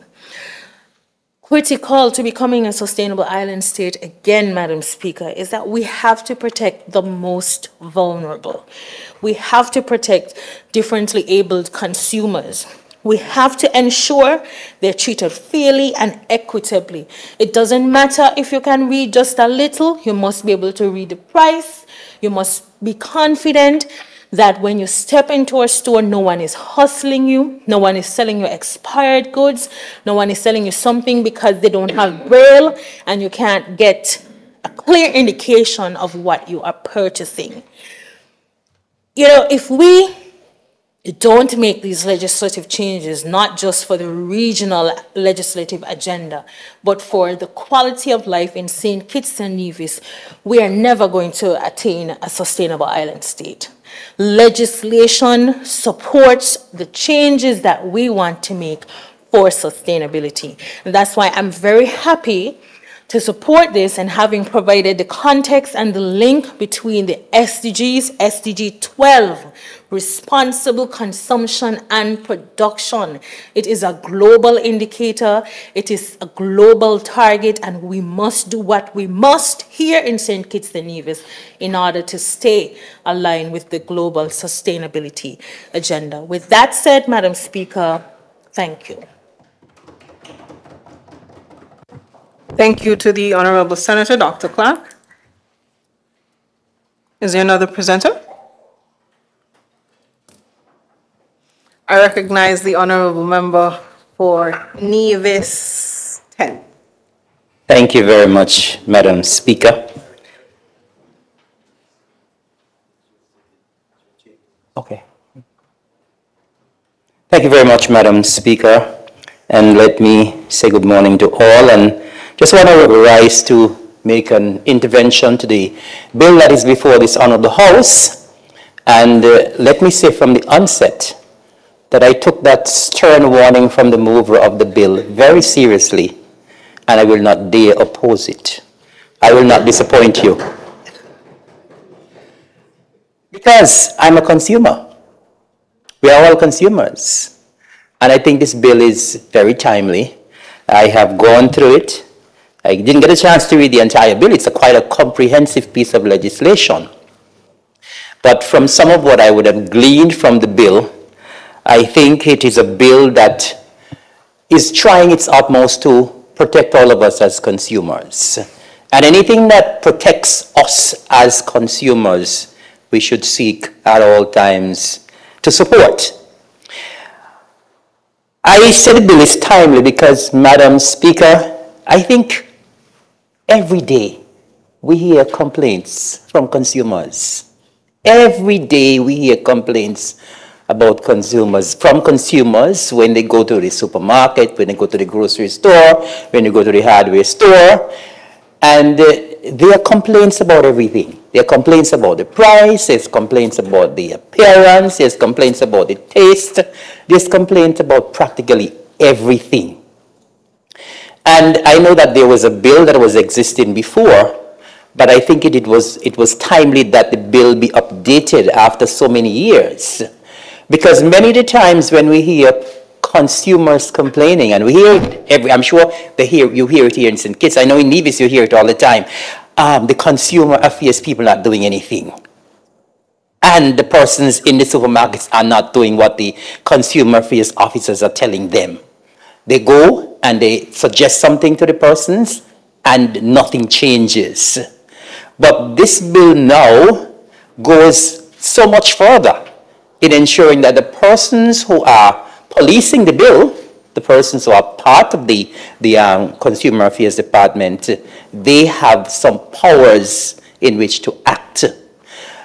I am happy as well that the, the bill makes reference to the um, establishment of a board, which of course could act as a, almost as a quasi-court as well, because it actually gives more power to the persons who are the consumer, in the Consumer Affairs Department.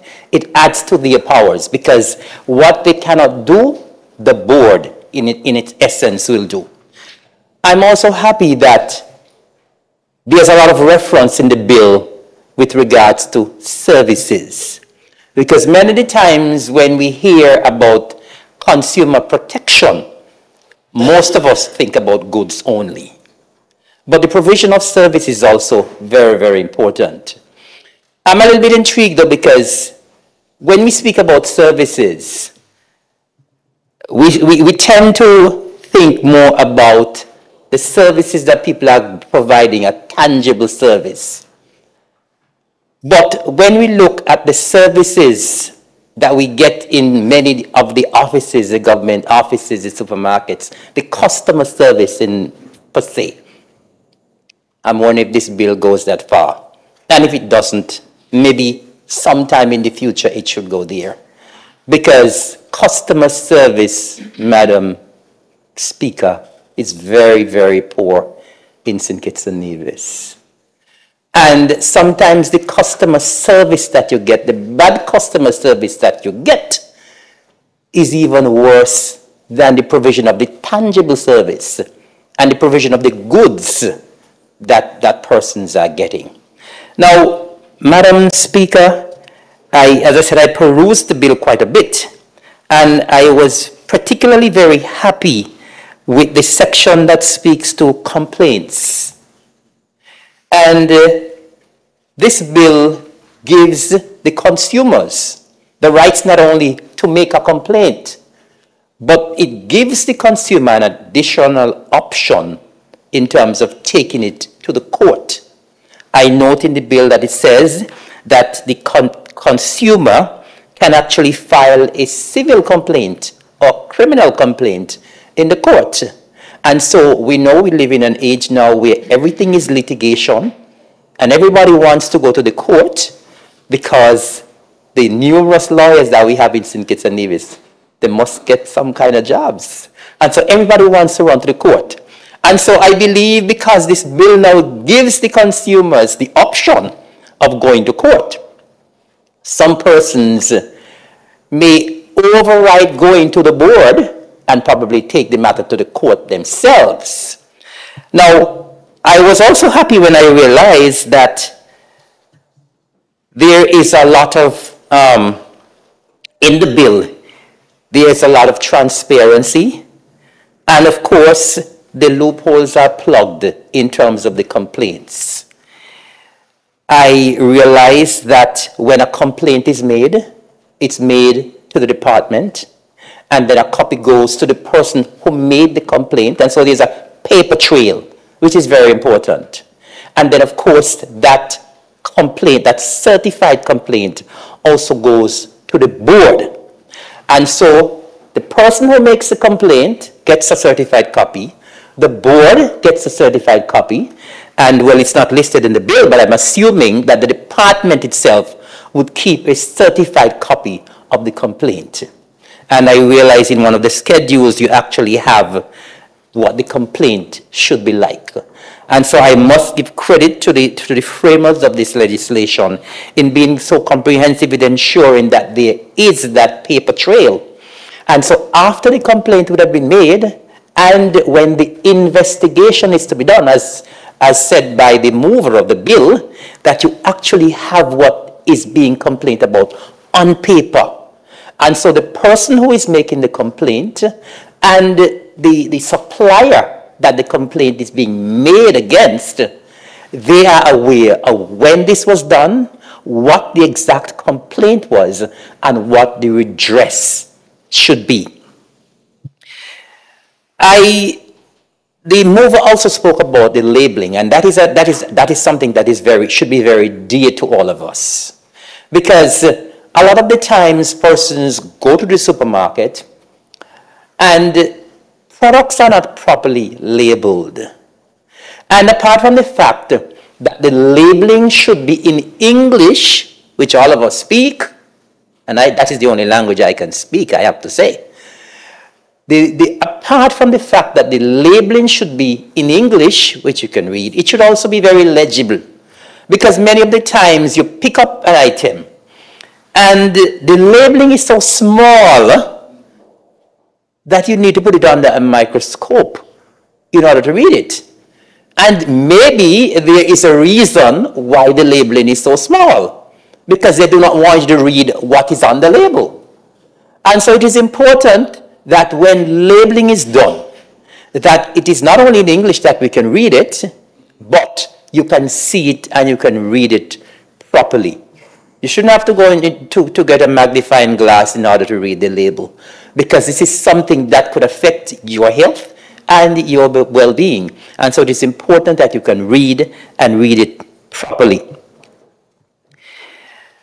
I know the mover of the bill, and, and, and the, when I looked first glance at the bill, I, I, I was very happy because the bill at the onset says that it is for the promotion and protection of consumer interest in relation to the supply of goods and the provision of services to ensure protection of life, health, and safety. And I like the part about health and safety as well. Now, I was a little intrigued when the, when the mover said that if he, somebody purchases a product and the product makes you sick, you can get redress. But we have to be very careful where that is concerned because unless you can have the proof that that particular product made you sick, because I'm sure you would have consumed other items as well before getting sick. So there's a thin line as to how you can prove whether or not it was that particular product that you consumed that caused the illness. And so I can see a little issues there. If you take this matter to court, the, the um,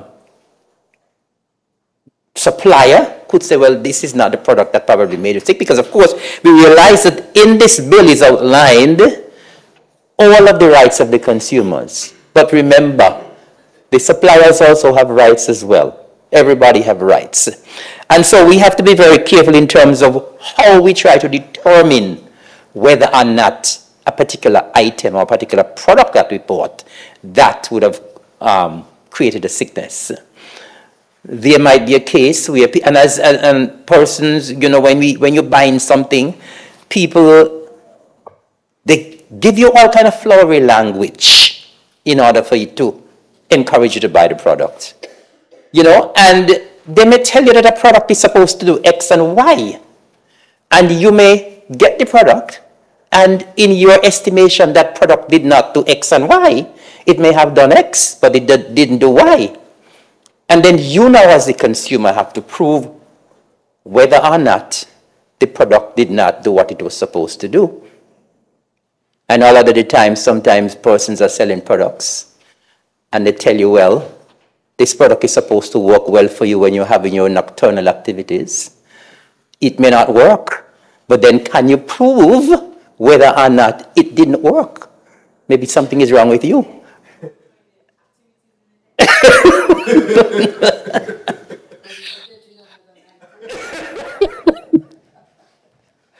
but, but in essence, though, I, I have to say, Madam President, that this bill Madam Speaker, I, am, I apologize. I have to say that this bill in essence, it's very, very comprehensive. And apart from the fact that the bill will protect all of us as consumers, the bill is putting our suppliers on notice that they need to step up. Because really and truly, a lot of the times, the goods and the services that are being provided are subpar, below standard. And it is telling our consumers, listen, you, I'm sorry, your suppliers, listen, you have to step up because the provision of your goods and services will now be under the microscope. And I hope that our consumers will take advantage of all the rights and all the privileges that they have from the provisions of this bill. I'm happy when the mover said that there will be some educational sessions because I was going to suggest that as well. Because a lot of the times consumers don't know what their rights are. There are numerous rights that are listed here in the, in the bill. And persons need to be reminded, those who don't know, people need to learn what their rights are. And so I am assuming and that you will have broad-based educational sessions where people know what their rights are. They know what the infringements of, the, of, of, your, their rights are and how to move forward.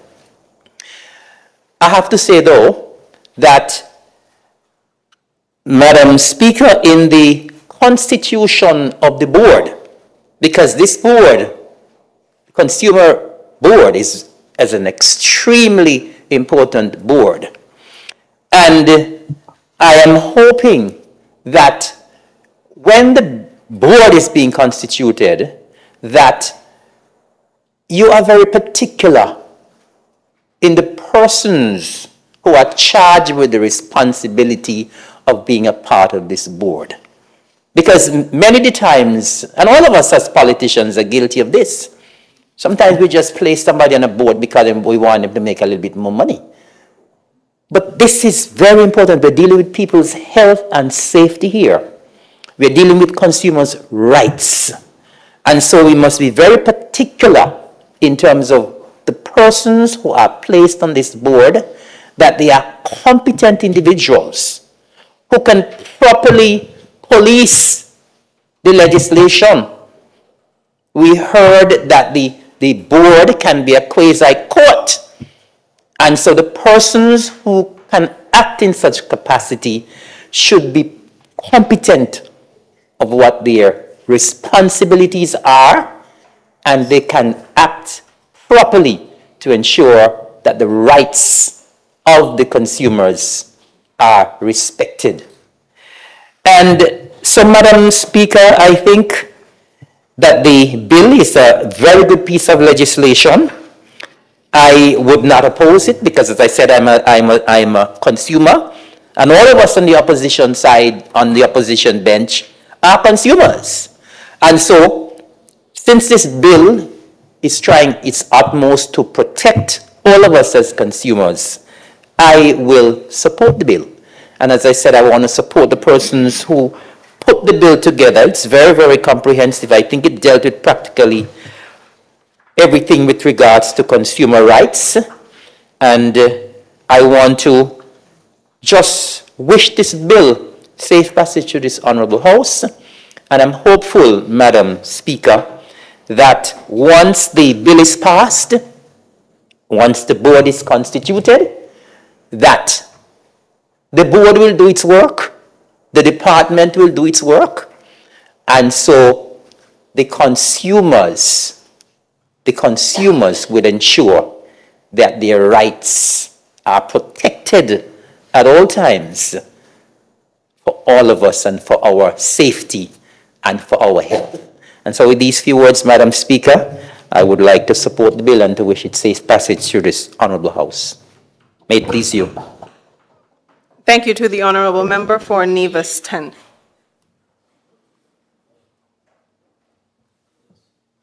Is there another presenter? I recognize the honorable member for Nevis 11. Thank you very much, Madam Speaker. Uh, Madam Speaker, I rise to make my contribution to this bill currently before this honorable house, and I I rise because I feel that this bill must get the support of this side of the house, of course. And as my colleague would have intimated just now, and he reminded us that the move of the bill said there's absolutely no way that we can oppose this bill. And he might be right about that, but I also want to look at a few things that I, I, I think should be mentioned here today. Uh, I've said in the past, and I continue to say that this honorable house is about ensuring that we're doing the business of the people.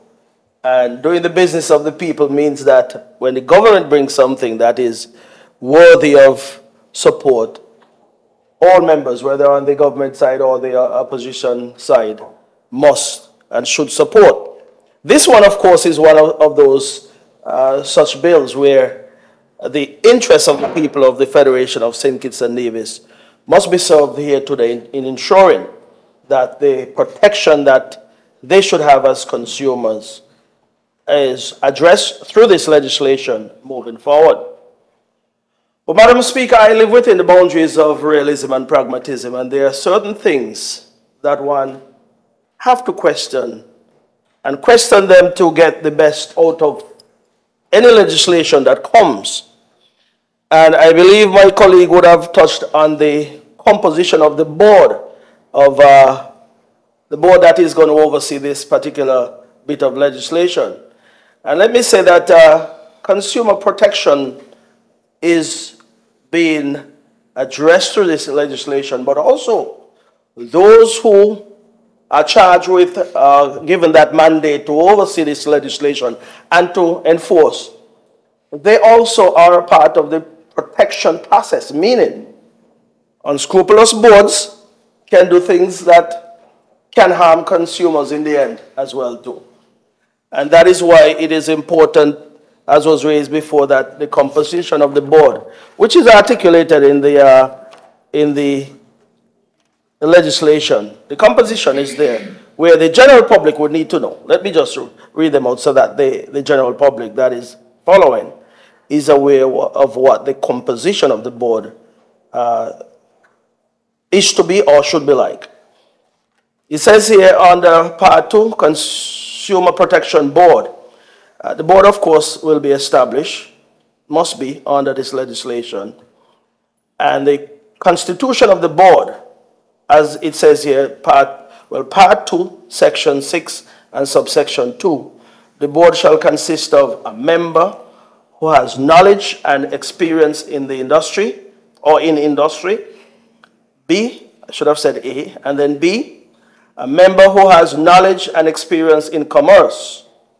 C, a member who is an attorney at law of at least seven years standing, who shall be the chairperson of the board. D, a member who has knowledge and experience in public administration. And E, a member who has knowledge and experience in consumer prote protection. Now it goes on in section 3 or subsection 3. The minister may appoint one of the members of the board to the chairperson, to be chairperson, and another member to be the deputy chairperson of the board. Now, these three, subsection three, the minister may appoint one of the members of the board.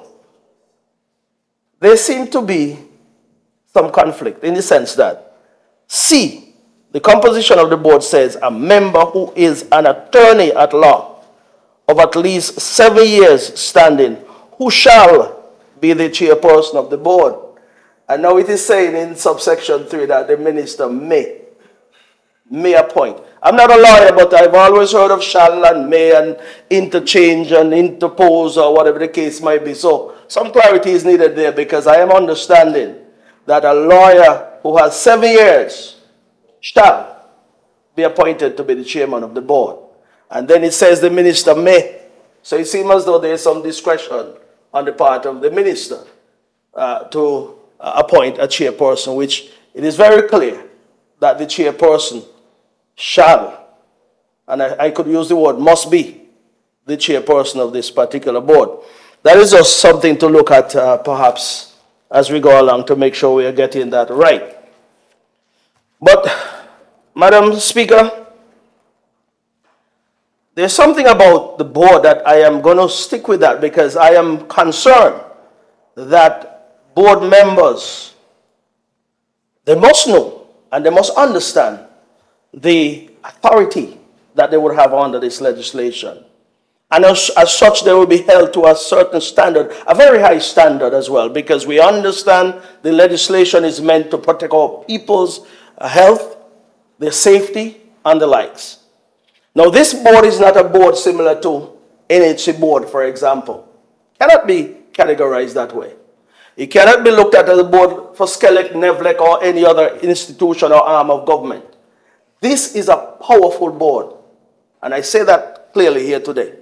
It is a powerful board. We are trying also to ensure that we're consistent with other CARICOM territories that we are, uh, where we have that relationship with. And as such, this repeal that is being done today and this passage of this bill, which will come, is indeed a quantum leap forward, in my opinion, in terms of the health and safety of our people. And that is why I, I am focusing on this board to ensure as my colleague would have said before me, that we are not just, you know, for political expediency or whatever the case might be, or to give somebody a, a board fee, just selecting persons to put on a board such as this, uh, because we want to ensure that the board is doing what it must do. As a matter of fact, I don't know if it is being done here in St. Kitts, but I was in charge of a board at one point, and all of us had to go to the court, the High Court, to take an oath, an oath of secrecy. And why I say oath of secrecy is because persons, we live in a small society, and I do not think that the purpose of this legislation is to create harm in terms of destroying any business here in the Federation of St. Kitts and Nevis. I think the aim of this legislation is to ensure that all sides and all parties are being protected, meaning consumers, businesses, and also those who are sitting on those boards, they must be protected as well too. And they must understand they must protect businesses to the extent that we hear about flies and dogs and blah, blah, blah. Let's leave it as that. I would hope that that is not the case in St. Kitts Nevis where dogs and cats and so forth are roaming among our food. But if that is the case, that is terrible. But the point I'm trying to make is that if, for example, the board is charged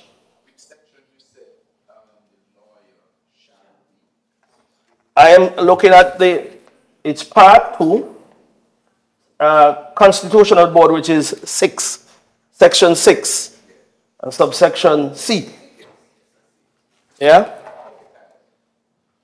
So, I'm, I'm talking about the preservation and integrity of food items and so forth. Now, all businesses, uh, everyone who goes into business goes into business to serve customers to make money.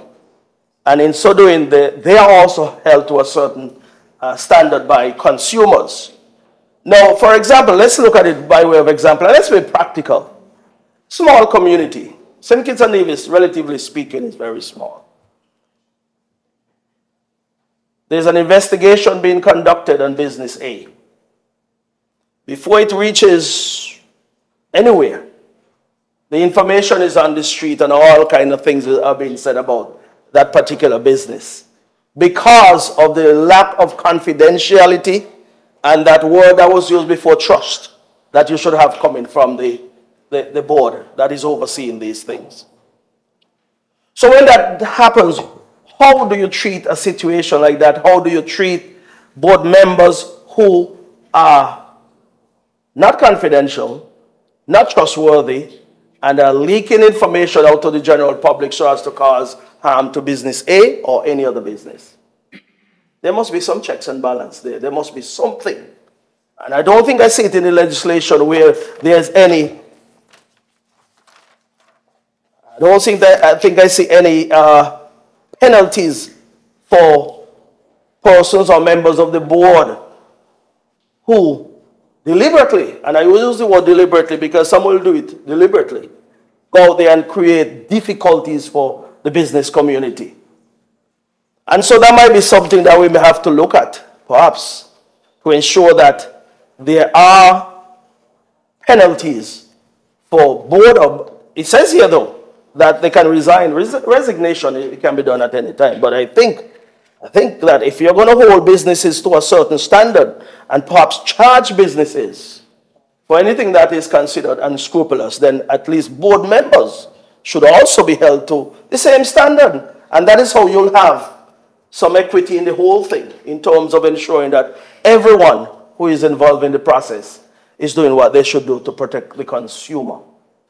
So that is something that I just wanted to put on the table um, to be addressed, if it can be addressed, whether today or at some point or the other, but it must be looked at that way.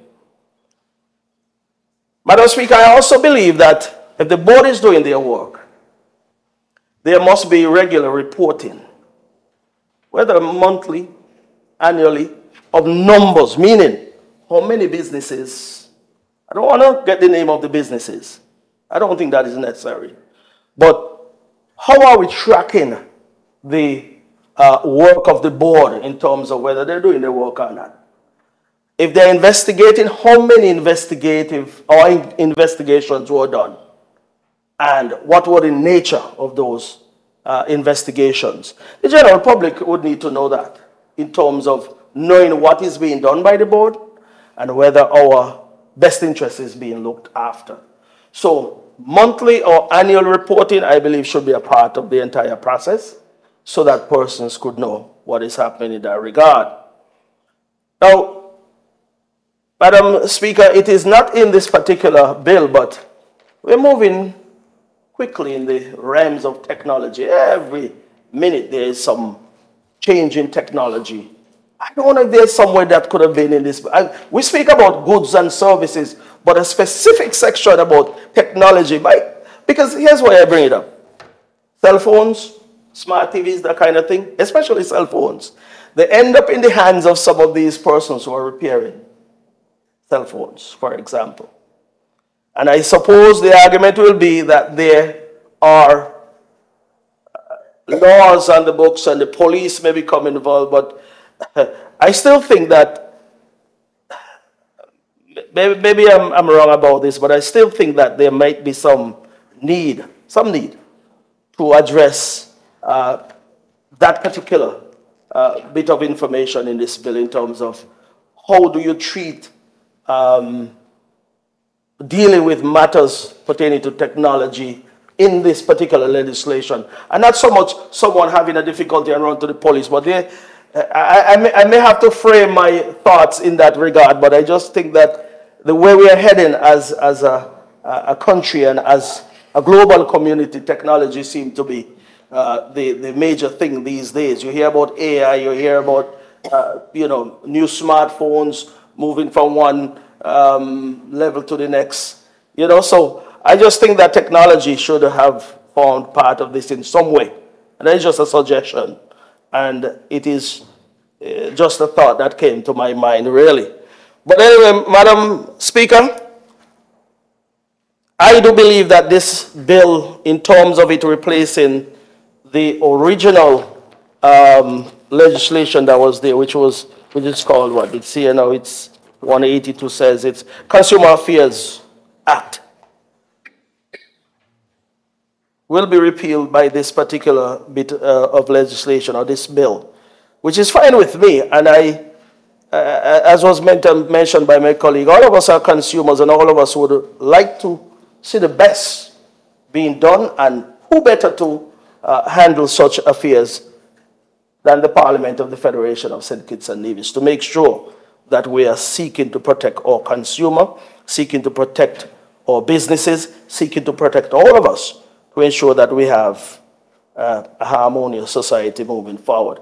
Madam Speaker, I didn't intend to labor too long on this one, but I just wanted to uh, at least let my voice be heard and make those few points on, on this bill.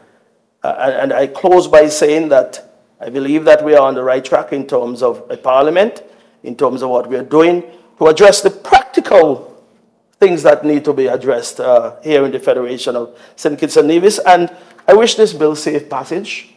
And indeed, uh, any adjustments that are necessary, let it be done. But by and large, the bill have my support. May it please you. Thank you to the honorable member for Nevis 11.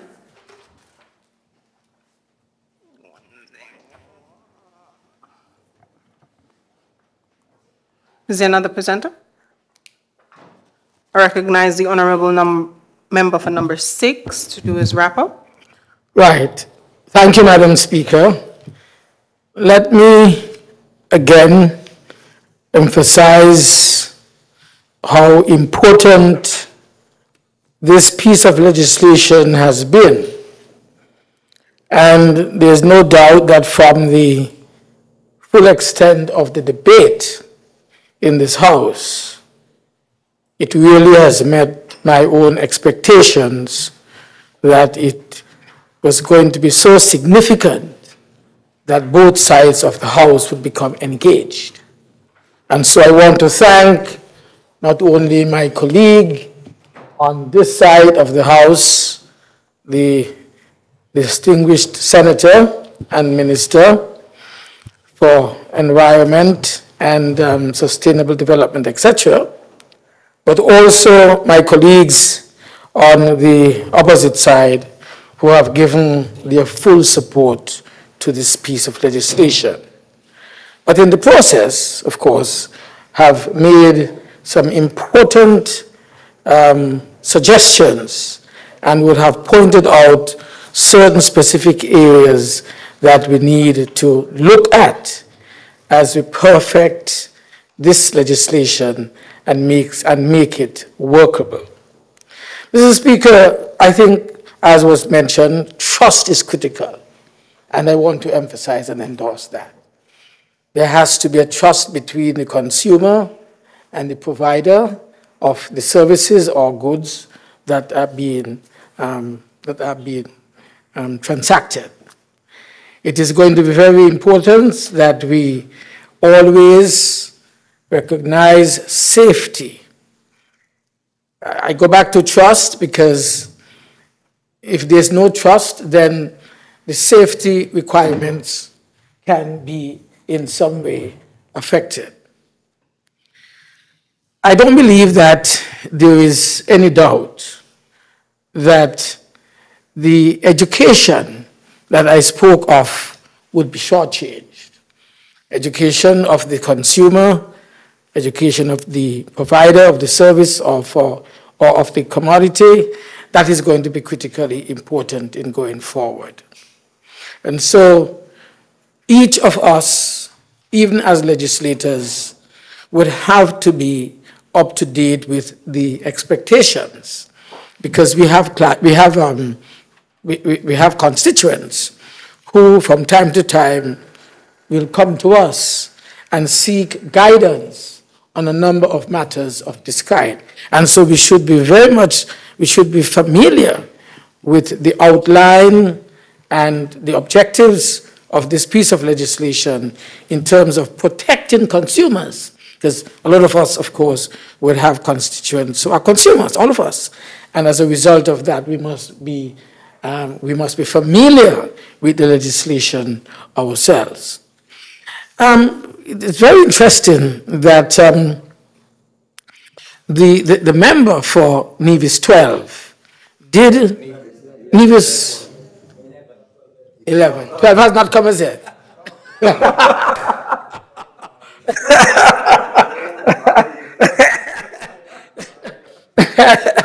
right. So Nevis 11, who was very correct in looking at the um, the consumption, the composition of the Consumer Protection Board, and who identified in section 6.2 that there is an anomaly um, in 6.2c and also 6.2.3. Right. Because really, it says here in section 6.2, Section 6, subsection 2, that, and referring to C, a member who is an attorney of, at law of at, of at least seven years standing, and it says, who shall be the chairperson of the board? But later on, in 3, it says, that is subsection 3, it says, the minister may appoint one of the members of the board to be the chairperson and another member to be the deputy chairperson, etc. Really, we will have, we will have to have an amendment because it is not expected that the chairperson has to be um, a lawyer. And so we would have to make that amendment later. Thank um, my colleague on the other side for pointing out what uh, appears to be an, an error that we would have to correct, because that is not the intention, really. I believe that really we, we've, we've, we've, we've done what is expected of us as parliamentarians. We have constantly heard the cries of our people. We recognize that something needs to be done, and we have come here and we have made a serious attempt to address a lot of these concerns which would have come our way over a period of time. The Consumer Protection Bill, again, it sets out a particular framework that consolidates in one place key consumer protection rights that are exercisable in relation to the supply of goods and services. The bill also has established the duties and the obligations of suppliers. Further, the bill establishes administrative and legal frameworks for the identification of violations involving the supply of goods and services. The physical and financial security of consumers, unfair trade practices and transactions, and on fair contract terms. And wherever we are emphasizing, wherever there are violations, the bill also has given us provision for both consumers and suppliers to be heard and that is what I, the point I want to make, is to balance that this piece of legislation brings. It gives the opportunity, wherever there are violations, it brings the opportunity for consumers and suppliers to be heard, and for consumer redress, and for supplier defense wherever that is appropriate. And that is why I say it is a landmark piece of legislation, because it is fair and it is balanced. I want to say before wrapping up the debate, the second reading, that St. Kitts and Nevis really is in a new era, okay? And we are setting the stage for fairness, for balance, for justice, for all of these to be meted out and exercised and received by our people. There are new demands that are being made in this new era that we are entering. New demands such as being eco-friendly in businesses, being conscious of the emerging new technologies that are available to us and which have been mentioned specifically by my colleague from Nevis 11. We are speaking of embracing the digital economy. We will not get further as a developing nation unless we are prepared to embrace the digital economy. And unless we are going to be engaged and involved seriously into research and development. We speak of being an innovative people in a new and emerging innovative country. We have quality production systems, and the products from these systems and the branding and the high quality and the technically skilled force that we are encouraging to emerge, all this won't happen unless there are fair trade practices between the consumer and those who are supplying the service or the commodities. So we are really setting the stage for moving in the right direction. And one of the important critical areas that we continue to complain about, as I said before, as a people, was this whole thing about price, price gouging and so forth. I want to make it clear that the government has set the basic formula that should be applied when it comes to this particular matter. In fact, I want to share with you, I want to share with you the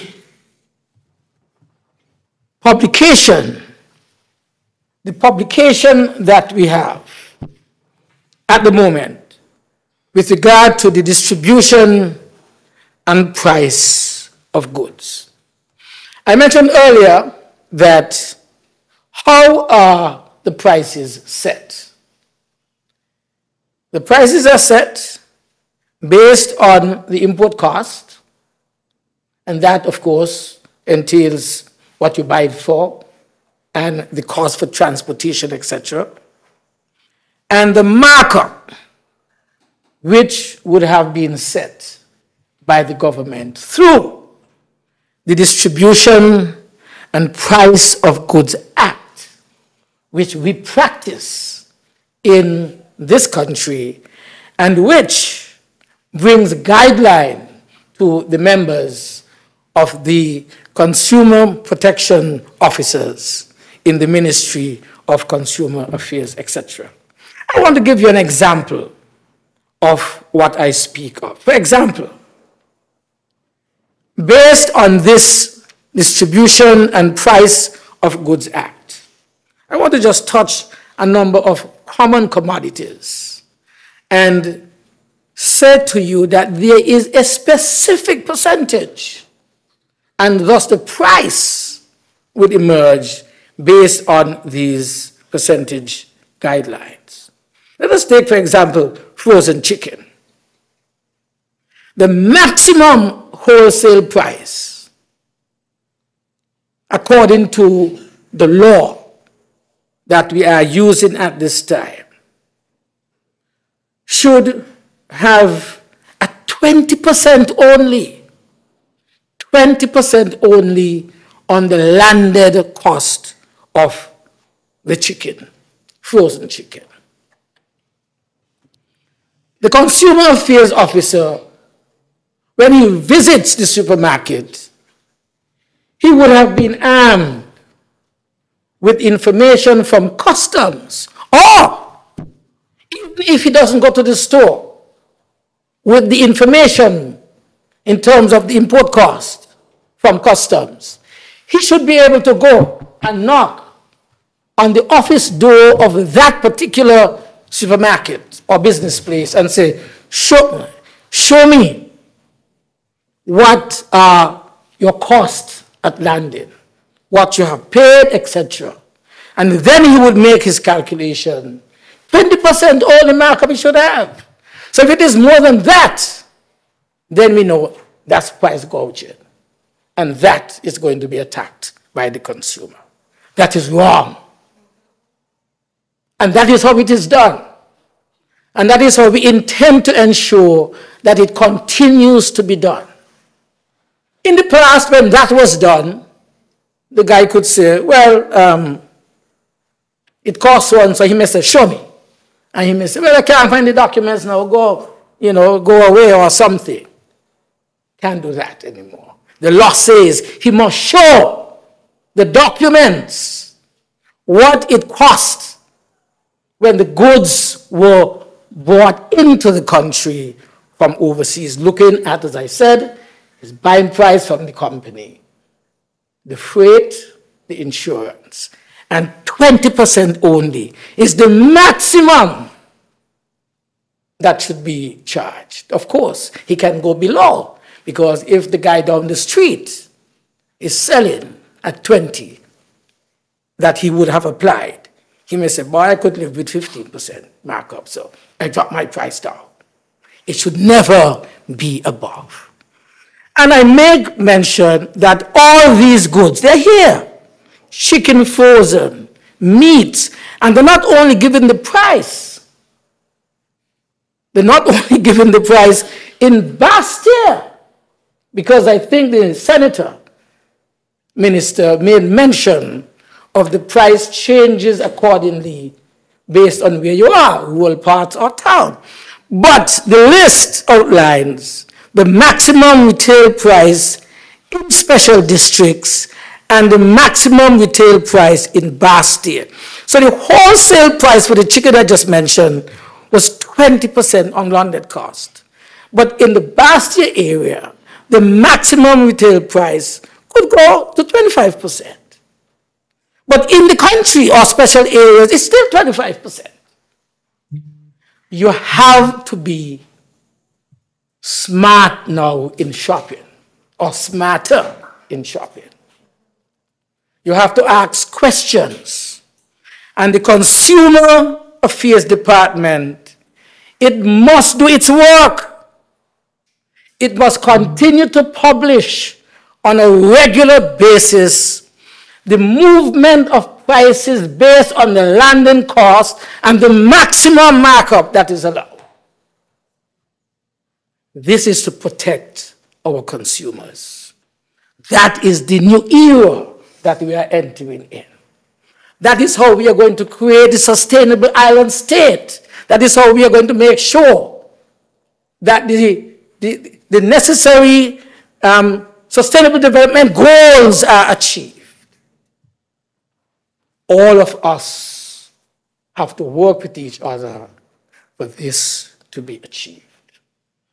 With those few words, Madam Speaker, and with the support of my colleagues, I want to thank you all for this opportunity to ensure that St. Kitts and Nevis moves into the new era and we protect our consumers in the process and we encourage our businessmen bring in the best of what there is for us to consume. Nice up your stores. Make sure that they are hygienically fit. No cockroaches and rats running the place. Nice it up, smooth up the place. Change the tires, put on your paint. This is a new St. Kitts and Nevis that we are creating. May it please you, Madam Speaker.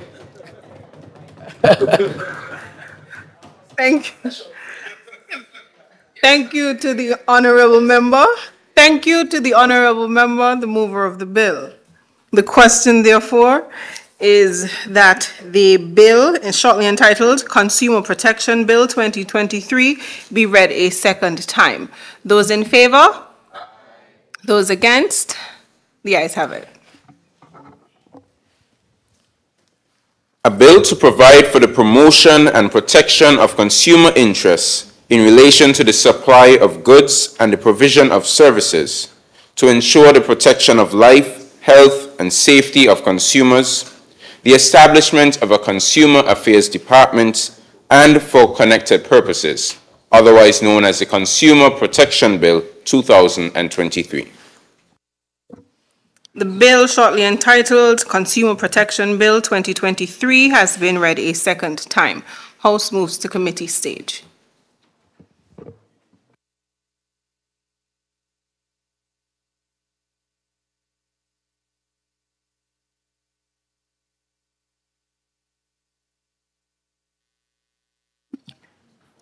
Clauses 1 through 5.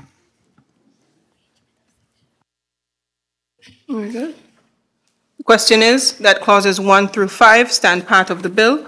Those in favor? Those against? The ayes have it. Clause 6. Yes, clause six would need to be amended to delete the words, "Who shall be chairman, who shall be the chairperson of the board?" in section, subsection 2C.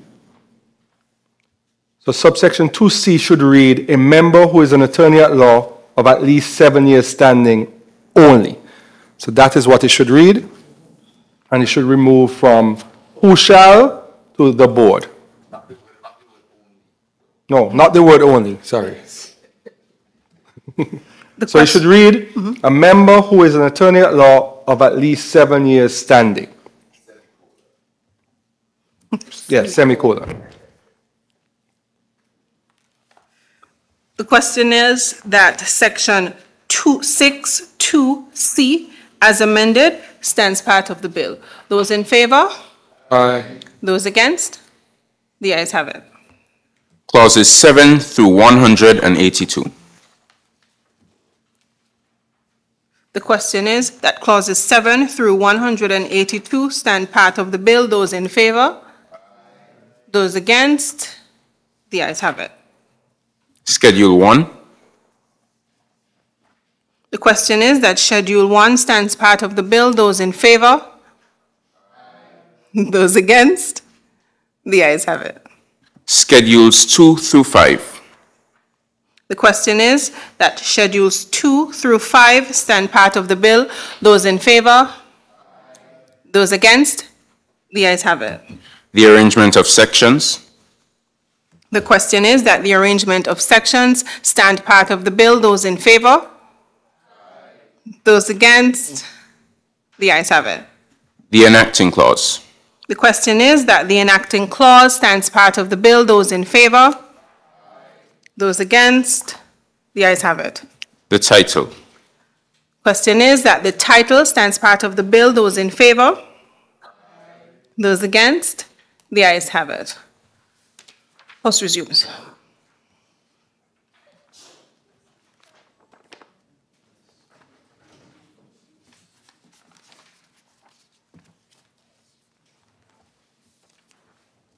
I recognize the honorable member for St. Christopher Six.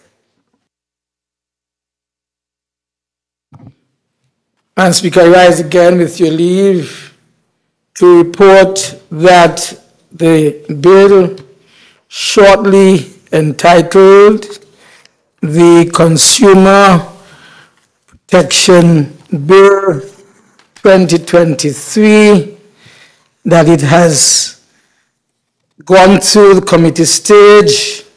There has only been one amendment. I therefore ask that this bill be allowed to have its third reading and thus become one of the laws of St. Christopher Nevis. I rise to second motion, Madam Speaker. Very well. The question is that the bill shortly entitled Consumer Protection Bill 2023 be read a third time and passed into law. Those in favor? Those against? The ayes have it. A bill to provide for the promotion and protection of consumer interests in relation to the supply of goods and provisions of services to ensure the protection of life, health, and safety of consumers, the establishment of a Consumer Affairs Department, and for connected purposes, otherwise known as the Consumer Protection Bill 2023. The bill shortly entitled Consumer Protection Bill 2023 has been read a third time and passed into law.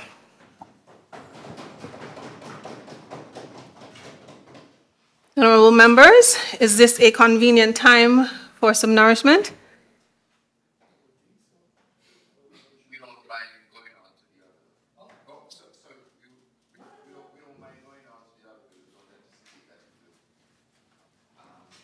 I usually don't have luck with that line, you know.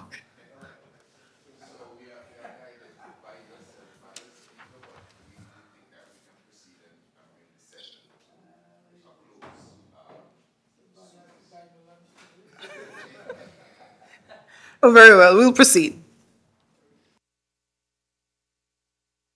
I recognize the Honorable Attorney General. Madam Speaker, I rise to lead the debate of and have read for a second time in this August Assembly today the bill shortly titled the Proceeds of Crime Amendment Bill 2023. Madam Speaker, this short but important bill concerns a single issue the amendment of the definition of tainted property within our Proceeds of Crime legislation. With your leave, Madam Speaker, I first intend to describe what the Proceeds of Crime Act is used for. Then I will explain why we prioritize the confiscation of proceeds of crime. I will also rationalize what the amendment actually achieves, whilst emphasizing the critical significance of the amendment in strengthening the ability of law enforcement to recover proceeds of crime. And lastly, I will aim to provide our people with a comprehensive understanding of why we must take this step and how it aligns with our overarching commitment or the overarching commitment of this administration to combat crime in our federation and preserve the integrity of our justice system. These are fundamental elements in achieving a sustainable island state. Madam Speaker, what is the Proceeds of Crime Act? The Act was enacted in November 2000, 23 years ago, and has undergone 12 amendments over the past years, reflecting this National Assembly's commitment to adapt to evolving challenges in combating crime. The last amendment was passed in March 2021. The Act serves several critical purposes. It provides a legal framework for the freezing, forfeiture, and confiscation of the proceeds of crime. This is a crucial tool for law enforcement to deprive criminals of the financial benefits they, get, they gain through illegal activities. The Act also creates offenses and procedures to prevent money laundering, a process that criminals often use to legitimize the proceeds of their crimes. It enables the enforcement of overseas freezing, forfeiture, and confiscation orders, emphasizing the international dimension of crime and the need for cross-border cooperation. The foundation of this act, therefore, is our ability to identify, pursue, prosecute, and recover the proceeds of crime at all levels. This encompasses the ability to proceed against tainted property. As an aside, Madam Speaker, it's important to note that the Proceeds of Crime and Asset Recovery Act 2020 was passed in this National Assembly in January 2020 and published in June 2020. However, it was never brought into force. I am informed because there are some administrative issues that need to be resolved prior to, prior to the implementation. Our team at the Attorney General's office is reviewing that act and will only move to bring it into operation when we are satisfied that it can fulsomely be implemented. Madam Speaker, why should we prioritize the confiscation of proceeds of crime? Recovering the proceeds of crime serves as a powerful deterrent to criminals for several compelling reasons. First and foremost, it hits criminals where it hurts the most, their financial gain, or as we say colloquially, their pockets. I wish to highlight key, five key reasons why this is such an effective deterrent. One, criminals engage in illegal activities to profit from their actions. When law enforcement successfully recovers the ill-gotten gains, it not only deprives them of the rewards of their crimes, but also imposes a financial burden in terms of legal fees, fines, and restitution. This financial setback discourages potential criminals who weigh the risks and rewards. Two, criminals understand that their criminal proceeds could be seized, making them hesitant to enjoy their illicit gains. This fear of losing their assets or wealth becomes a significant disincentive to engage in criminal activities in the first place. Three, many criminals use their proceeds to fund extravagant lifestyles or invest in legal activities. The threat of losing these assets can lead to a significant decline in their quality of life. This loss of comfort and status acts as a deterrent. Four, successful recovery of the proceeds of crime sets an example and sends a clear message to potential criminals that illegal activities will not go unpunished. The fear of facing similar consequences acts as a deterrent across society. And five, asset recovery limits the resources available for criminal enterprises, making it harder for criminal organizations to operate and expand. This financial squeeze can weaken their ability to commit crimes. Madam Speaker, what does this simple amendment do? The proposed amendment to the Proceeds of Crime Act expands the definition of tainted property within the existing legislation. The March 2021 amendment narrowed the interpretation of tainted property, which then significantly restricted the investigative powers of the police and their ability to apply the widest range of forfeiture and asset recovery. The proposed amendment, the definition is sufficiently clear and comprehensive. It says, and I quote, Madam Speaker, tainted property in relation to the commission of an offense includes property used in or in connection with the commission of an offense, that is a crime, derived, obtained, or realized directly or indirectly from the commission of a crime, has been used in or in connection with unlawful conduct, or is intended to be used in or in connection with unlawful conduct. Madam Speaker, as you're well aware from your prosecutorial practice, unlawful conduct means conduct which if it occurs in St. Christopher and Nevis, is unlawful under the criminal law of St. Kitts and Nevis. Or if it occurs in a country outside St. Kitts and Nevis, is unlawful under the criminal law of that country. And if, if it had occurred in St. Kitts and Nevis, would be unlawful under the criminal law of St. Kitts and Nevis. After consultations with the White Collar Crime Unit of the Royal St. Christopher and Nevis Police Force, the Anti-Money Laundering National Committee, NAMLAC, and the Asset Recovery Unit of the Regional Security Services, RSS, we recognize that this amended definition has limitations and it needed to be addressed. Therefore, the amendment we are proposing today corrects the 2021 limitation and expands the definition of tainted property to allow law enforcement to power, the power to move against the widest range of proceeds of crimes related assets.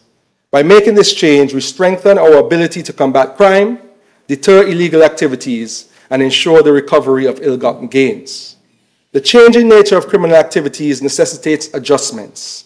Criminals are becoming more sophisticated in their methods, utilizing a wide range of assets to facilitate their illegal activities. The existing definition, however, is not sufficiently broad to encompass the full spectrum of proceeds of crime. Without this amendment, there's a genuine risk that law enforcement agencies, and in particular the white collar crime unit, may face significant obstacles in their endeavors to recover the proceeds of crime. The nature of white collar crime often involves the use of property or assets that are not directly linked to the offense, but play a crucial role in facilitating it. This amendment is critical to the work of investigators and prosecutors who thrive, who strive to hold perpetrators of white collar crime accountable. Madam Speaker, why have a clear and comprehensive definition of tainted property? The importance of having a strong definition within this legislative framework cannot be overstated, and it encompasses several key dimensions. A precise definition provides legal clarity and certainty, ensuring that law enforcement agencies, prosecutors, and the judiciary have effective, can effectively apply the law. Without a clear definition, there may be ambiguity and confusion in determining which assets can be seized or forfeited, potentially leading to legal disputes and delays in this criminal justice process. The primary goal of proceeds of crime legislation is to deter criminal activity by depriving criminals of the financial benefits derived from their unlawful activities. A robust definition of tainted property enables authorities to identify and seize assets obtained, obtained through criminal activities making it more difficult for criminals to enjoy the proceeds of their crimes. This in turn serves as a deterrent in engaging in illegal activities. A clear def definition of tainted property is essential to protect the rights of individuals and businesses. Without a strong definition, there's a risk that legitimate assets could be mistakenly seized, potentially infringing on the property rights and due process rights of innocent parties. A clear definition helps to ensure that only assets generally linked to criminal activities are subject to forfeiture. Many countries have proceeds of crime legislation, and international cooperation is often necessary to combat transnational organized crime. Having a consistent and well-defined concept of tainted property facilitates cooperation and the sharing of information and assets across borders. It allows for a more effective global response to criminal organizations engaging in money laundering, corruption, and other illegal activities. Clear definitions enable law enforcement agencies to focus their resources on assets that are most likely to be linked to criminal activities. This efficiency can lead to a more effective allocation of resources and a greater chance of successfully seizing and forfeiting ill-gotten gains. When the public perceives that the legal system is effectively addressing the issue of criminal proceeds, it can lead to increased trust in the justice system. A strong definition of tainted property, along with effective enforcement of proceeds of crime legislation, helps maintain public confidence and demonstrates the government's commitment to combating crime. And Madam Speaker, lastly, how do steps like this take us towards a sustainable island state? The proposed amendment of the definition of tainted property within our proceeds of crime legislation is not a mere technicality. It is a fundamental step in our ongoing efforts to combat crime, protect the rights of individuals and businesses, and preserve the integrity of our justice system. By enhancing the precision, clarity, and international compatibility of this definition, we can further our mission to deter criminal activity, ensure the fair application of the law, and bolster the efficiency and effectiveness of our, law, of our law enforcement agencies, critical elements of a sustainable island state. The effective recovery of proceeds of crime reinforces the rule of law, instilling confidence in the justice system. This, in turn, dissuades individuals from resorting to illegal activities. Recovering the proceeds of crime acts as a formidable deterrent to criminals by targeting their financial interests, instilling fear of loss, and demonstrating the legal consequences of criminal behavior. This multifaceted approach not only punishes wrongdoers, but also discourages others from engaging in lawful activities, contributing to a safer and more just society. Let us remember that our society is built upon the principles of justice and the rule of law. We need not go further than the first paragraph within our Constitution, which states that the people of St. Christopher and Nevis desire the creation of a climate of economic well-being in the context of respect for law and order. Modern legislation, like the Proceeds of Crime Amendment Bill 2023, strengthens those foundations, making it clear that all crime does not pay, and that the rights of the innocent will always be protected. In doing so, we stand united in our commitment to a safer and more just society for all as we charter the course of our nation towards a sustainable island state with robust institutions that can outlast and subvert any future attempts to destroy our country through rampant corruption based on greed, all in the goal of getting filthy rich through public office. Those days are over, Madam Speaker. Together, on the constitutional commitment to achieve our national objectives with a unity of purpose, we can further strengthen our ability to combat crime and recover the proceeds of criminal activities, ensuring a safer and more just future for our nation. Madam Speaker, with those few words, I wish the Proceeds of Crime Amendment Bill 2023 safe passage. May it please. Thank you to the Honorable Attorney General, the mover of the bill. Is there another presenter? I recognize the Honorable Senator Philip. Madam Speaker, I rise to simply second the motion uh, of the bill and reserve my right to speak at this time. Thank you. Very well. Is there another presenter?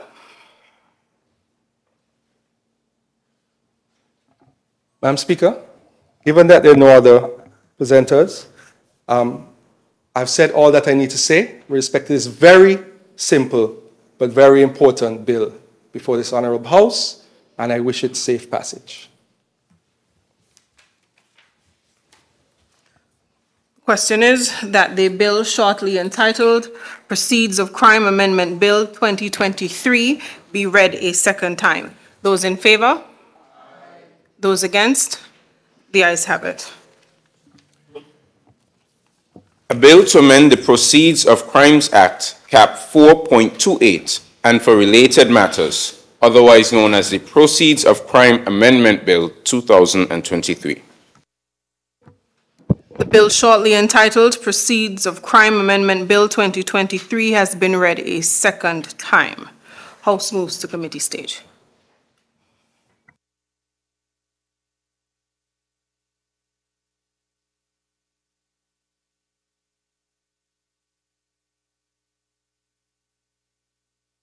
Clauses 1 and 2. The question is that clauses 1 and 2 stand part of the bill. Those in favor? Those against? The ayes have it. The enacting clause. Question is that the enacting clause stands part of the bill. Those in favor? Those against? The ayes have it. The title. The question is that the title stands part of the bill. Those in favor? Those against? The ayes have it. House resumes.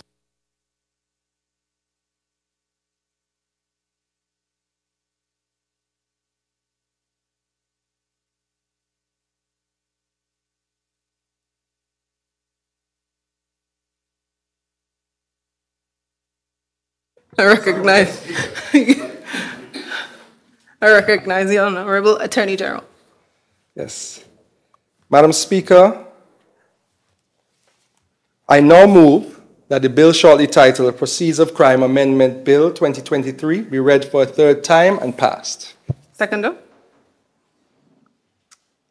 Madam Speaker, I beg to second that motion. The question is that the bill shortly entitled Proceeds of Crime Amendment Bill 2023 be read a third time and passed into law. Those in favor? Those against? The ayes have it. A bill to amend the Proceeds of Crime Act, Cap 4.28, and for related matters, otherwise known as the Proceeds of Crime Amendment Bill 2023. The bill shortly entitled Proceeds of Crime Amendment Bill 2023 has been read a third time and passed into law.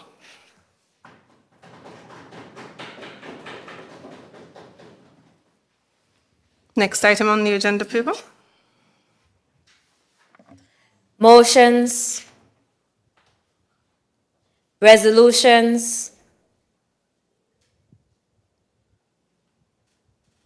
Hold on.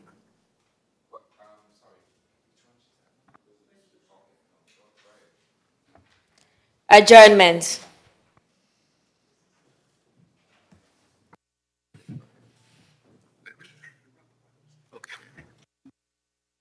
Madam Speaker, um, given that today is a year and five days by my calculations since this session of the House has been opened, I just wanted to briefly let the people know that we've, doing, we've been doing their business.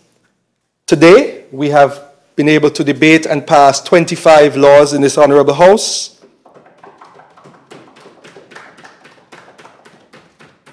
And overall, we have presented and tabled 32 bills, 25 of which have been passed into law. I just want to take this opportunity to thank the team at the Attorney General's office, particularly Karen and Allison, who meet with me regularly, and we have a robust legislative agenda, and we promise the people that we'll continue to do their work in this honorable House. May it please you, Madam Speaker. Thank you, Honorable Attorney General. With your leave, Madam Speaker. I recognize the Honorable Member for St. Christopher A. Thank you.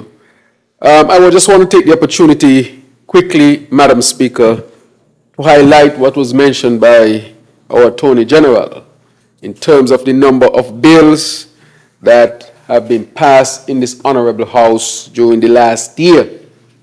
I want to say that this has been a part of a government that is working and working tremendously hard on behalf of the people of St. Kitts and Nevis. We have passed a number of critical pieces of legislations that are transformative in the lives of our people here in St. Kitts and Nevis. One of those, of course, Madam Speaker, we can remember the one to do with domestic violence, where we made it possible for those who suffer domestic violence do not have to go to the High Court anymore. A magistrate court can be called on in order to provide protection from domestic violence. And as a result, I'm almost certain that a number of our citizens would have been saved. Because we remember last year, between August or maybe September, there were a number of um, domestic issues that resulted in death. And therefore, it was necessary to do that. as part of creating our sustainable island state and seeking to make sure that the most vulnerable are protected. That is critical as we continue to build our democracy and our sustainable island state. Madam Speaker, our bill to deal with the Rastafarians and giving them the opportunity to practice their faith as they see fit, of course, based on their principles. That was also landmark. And so we can discuss many others, but if you were to ask me, those two are very close to me. And so I want to really thank this team that has been working tremendously hard. Thank the AG and his office for the tremendous work that they have been doing thus far. Madam Speaker, I want to say um, as a, at this point to those who are suffering from breast cancer, let us remember them. Let us give them our support. I went to church on Sunday, the St. Peter's Anglican Church, and there was a nurse. She has spoken publicly. Her name is Miss Letitia Philip Caesar. And she gave the presentation. She's a nurse, a registered nurse at JNF. And she spoke about breast cancer very eloquently, giving the pertinent information and, of course, advising all those who were listening. But she also gave her personal story of dealing with the scourge of breast cancer, what she would have gone through from self detection to the point where she rang a bell in Colombia, completing her course of treatment and being told that she was cancer free.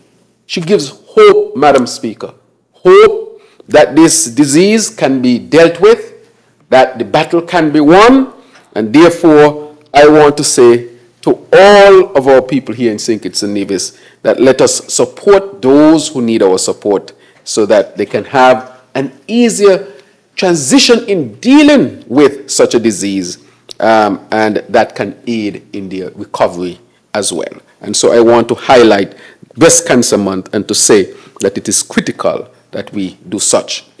Madam Speaker, I want to say that yesterday I attended a very important activity at the Cayon High School. They call it Cayon High School Best, where this organization, of course, is made up of alumni from the Cayon High School and also teachers and so forth. And so I was there with the Dame Marcella Liburd, our Governor General, who was once a teacher of the Cayon High School. And they recognized past principals, teachers, and those who were um, renowned athletes uh, at the Cayon High School. And so I want to say to those who were involved that these are the type of things that we need in our community, where we see a school not just as being the responsibility of a government, but a school being the responsibility of a community. And so that school that is in that community, the Cayon High School Best, that has a website, is an organization that seeks to really support the school, even at this point in time. And I want to encourage that all alumni here in St. Kitts and Nevis continue to support their school in whatever way they can, be it financial, be it to mentor, be to go and help to paint up if it needs paint up, change some tiles if you can do that, cut, help cut the yard if you can, so that the community can really take ownership of our schools here in St. Kitts and Nevis. And so I want to really congratulate CH Cayon High School Best and what they have been doing um, thus far. Madam Speaker, I just wanted to highlight those two critical things and to thank my colleagues who have been working so tremendously hard over the time. But I also want to thank you, Madam Speaker, you and your good offices, the clerk who is here, the deputy clerk who came on and is, you know, getting into stride with his work, those on the opposite side, because without them, this process cannot be, um, cannot be had. A democracy is made up of government and those on the opposite, opposition bench. I want to thank all of the officers who are here. But I want to also thank here our um, professionals in sign language, Madam Speaker. Last year I had the opportunity to meet with the deaf community. And I think Honorable Konris Maynard has a relative of the deaf community.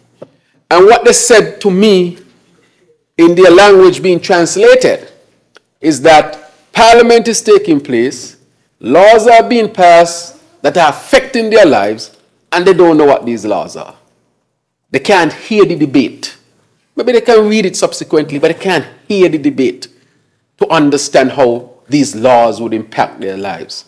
And so, for the first time, again, in keeping with our principle of a sustainable island state where all citizens, irrespective of their background, especially if they have any disability, that that would not be an impediment. Because I've learned that a disability is really only a disability if we don't create the environment for those persons who are perceived to have the disability to function normally. Because when we went and we met with the professionals, and you can see them here all the time doing an excellent job, translating what we say into sign language, that of course brings our people, those of the deaf community, to be a part and parcel of the whole process of parliamentary, parliamentary debate and participating more wholesomely in our democracy. So I'm very proud. I feel good when I look at this on the TV and I see in a little square box there the sign language taking place. Madam Speaker, I can tell you one day walking down the road and I my attention was drawn because somebody was there, they, you know, they made a sound and they moved their hand in a particular way. And they run up to me smiling, two of them, two young ladies, and I really could not say, but I picked up one of them saying, thank you, you know, because again, they had the opportunity now to participate and we responded to them and we heard them. And so I want to thank our interpreters for being a robust part of our parliamentary proceedings as well. To thank the audience, Madam Speaker, and I'm doing this because it's a year now, and to thank the media for making sure that the message get out to our people. And to finally say that in a democracy and now in the era of good governance, that to have more participation in this process is our aim. And that is why we are taking the budget for the first time on the road. More participation means a stronger democracy, means the attainment of a sustainable island state, means better living for all of us here in St. Kitts and Nevis. That is the promise of this administration to our people, and we're working tirelessly hard to make sure that we stick to what we promise. Thank you, Madam Speaker. May it please you. Thank you to the honorable member for St. Christopher Hilton. I recognize the honorable member for St. Christopher 3. I would like to take this opportunity to move that this House stands adjourned, sine die. Is there a second? Speaker, I wish to second that motion.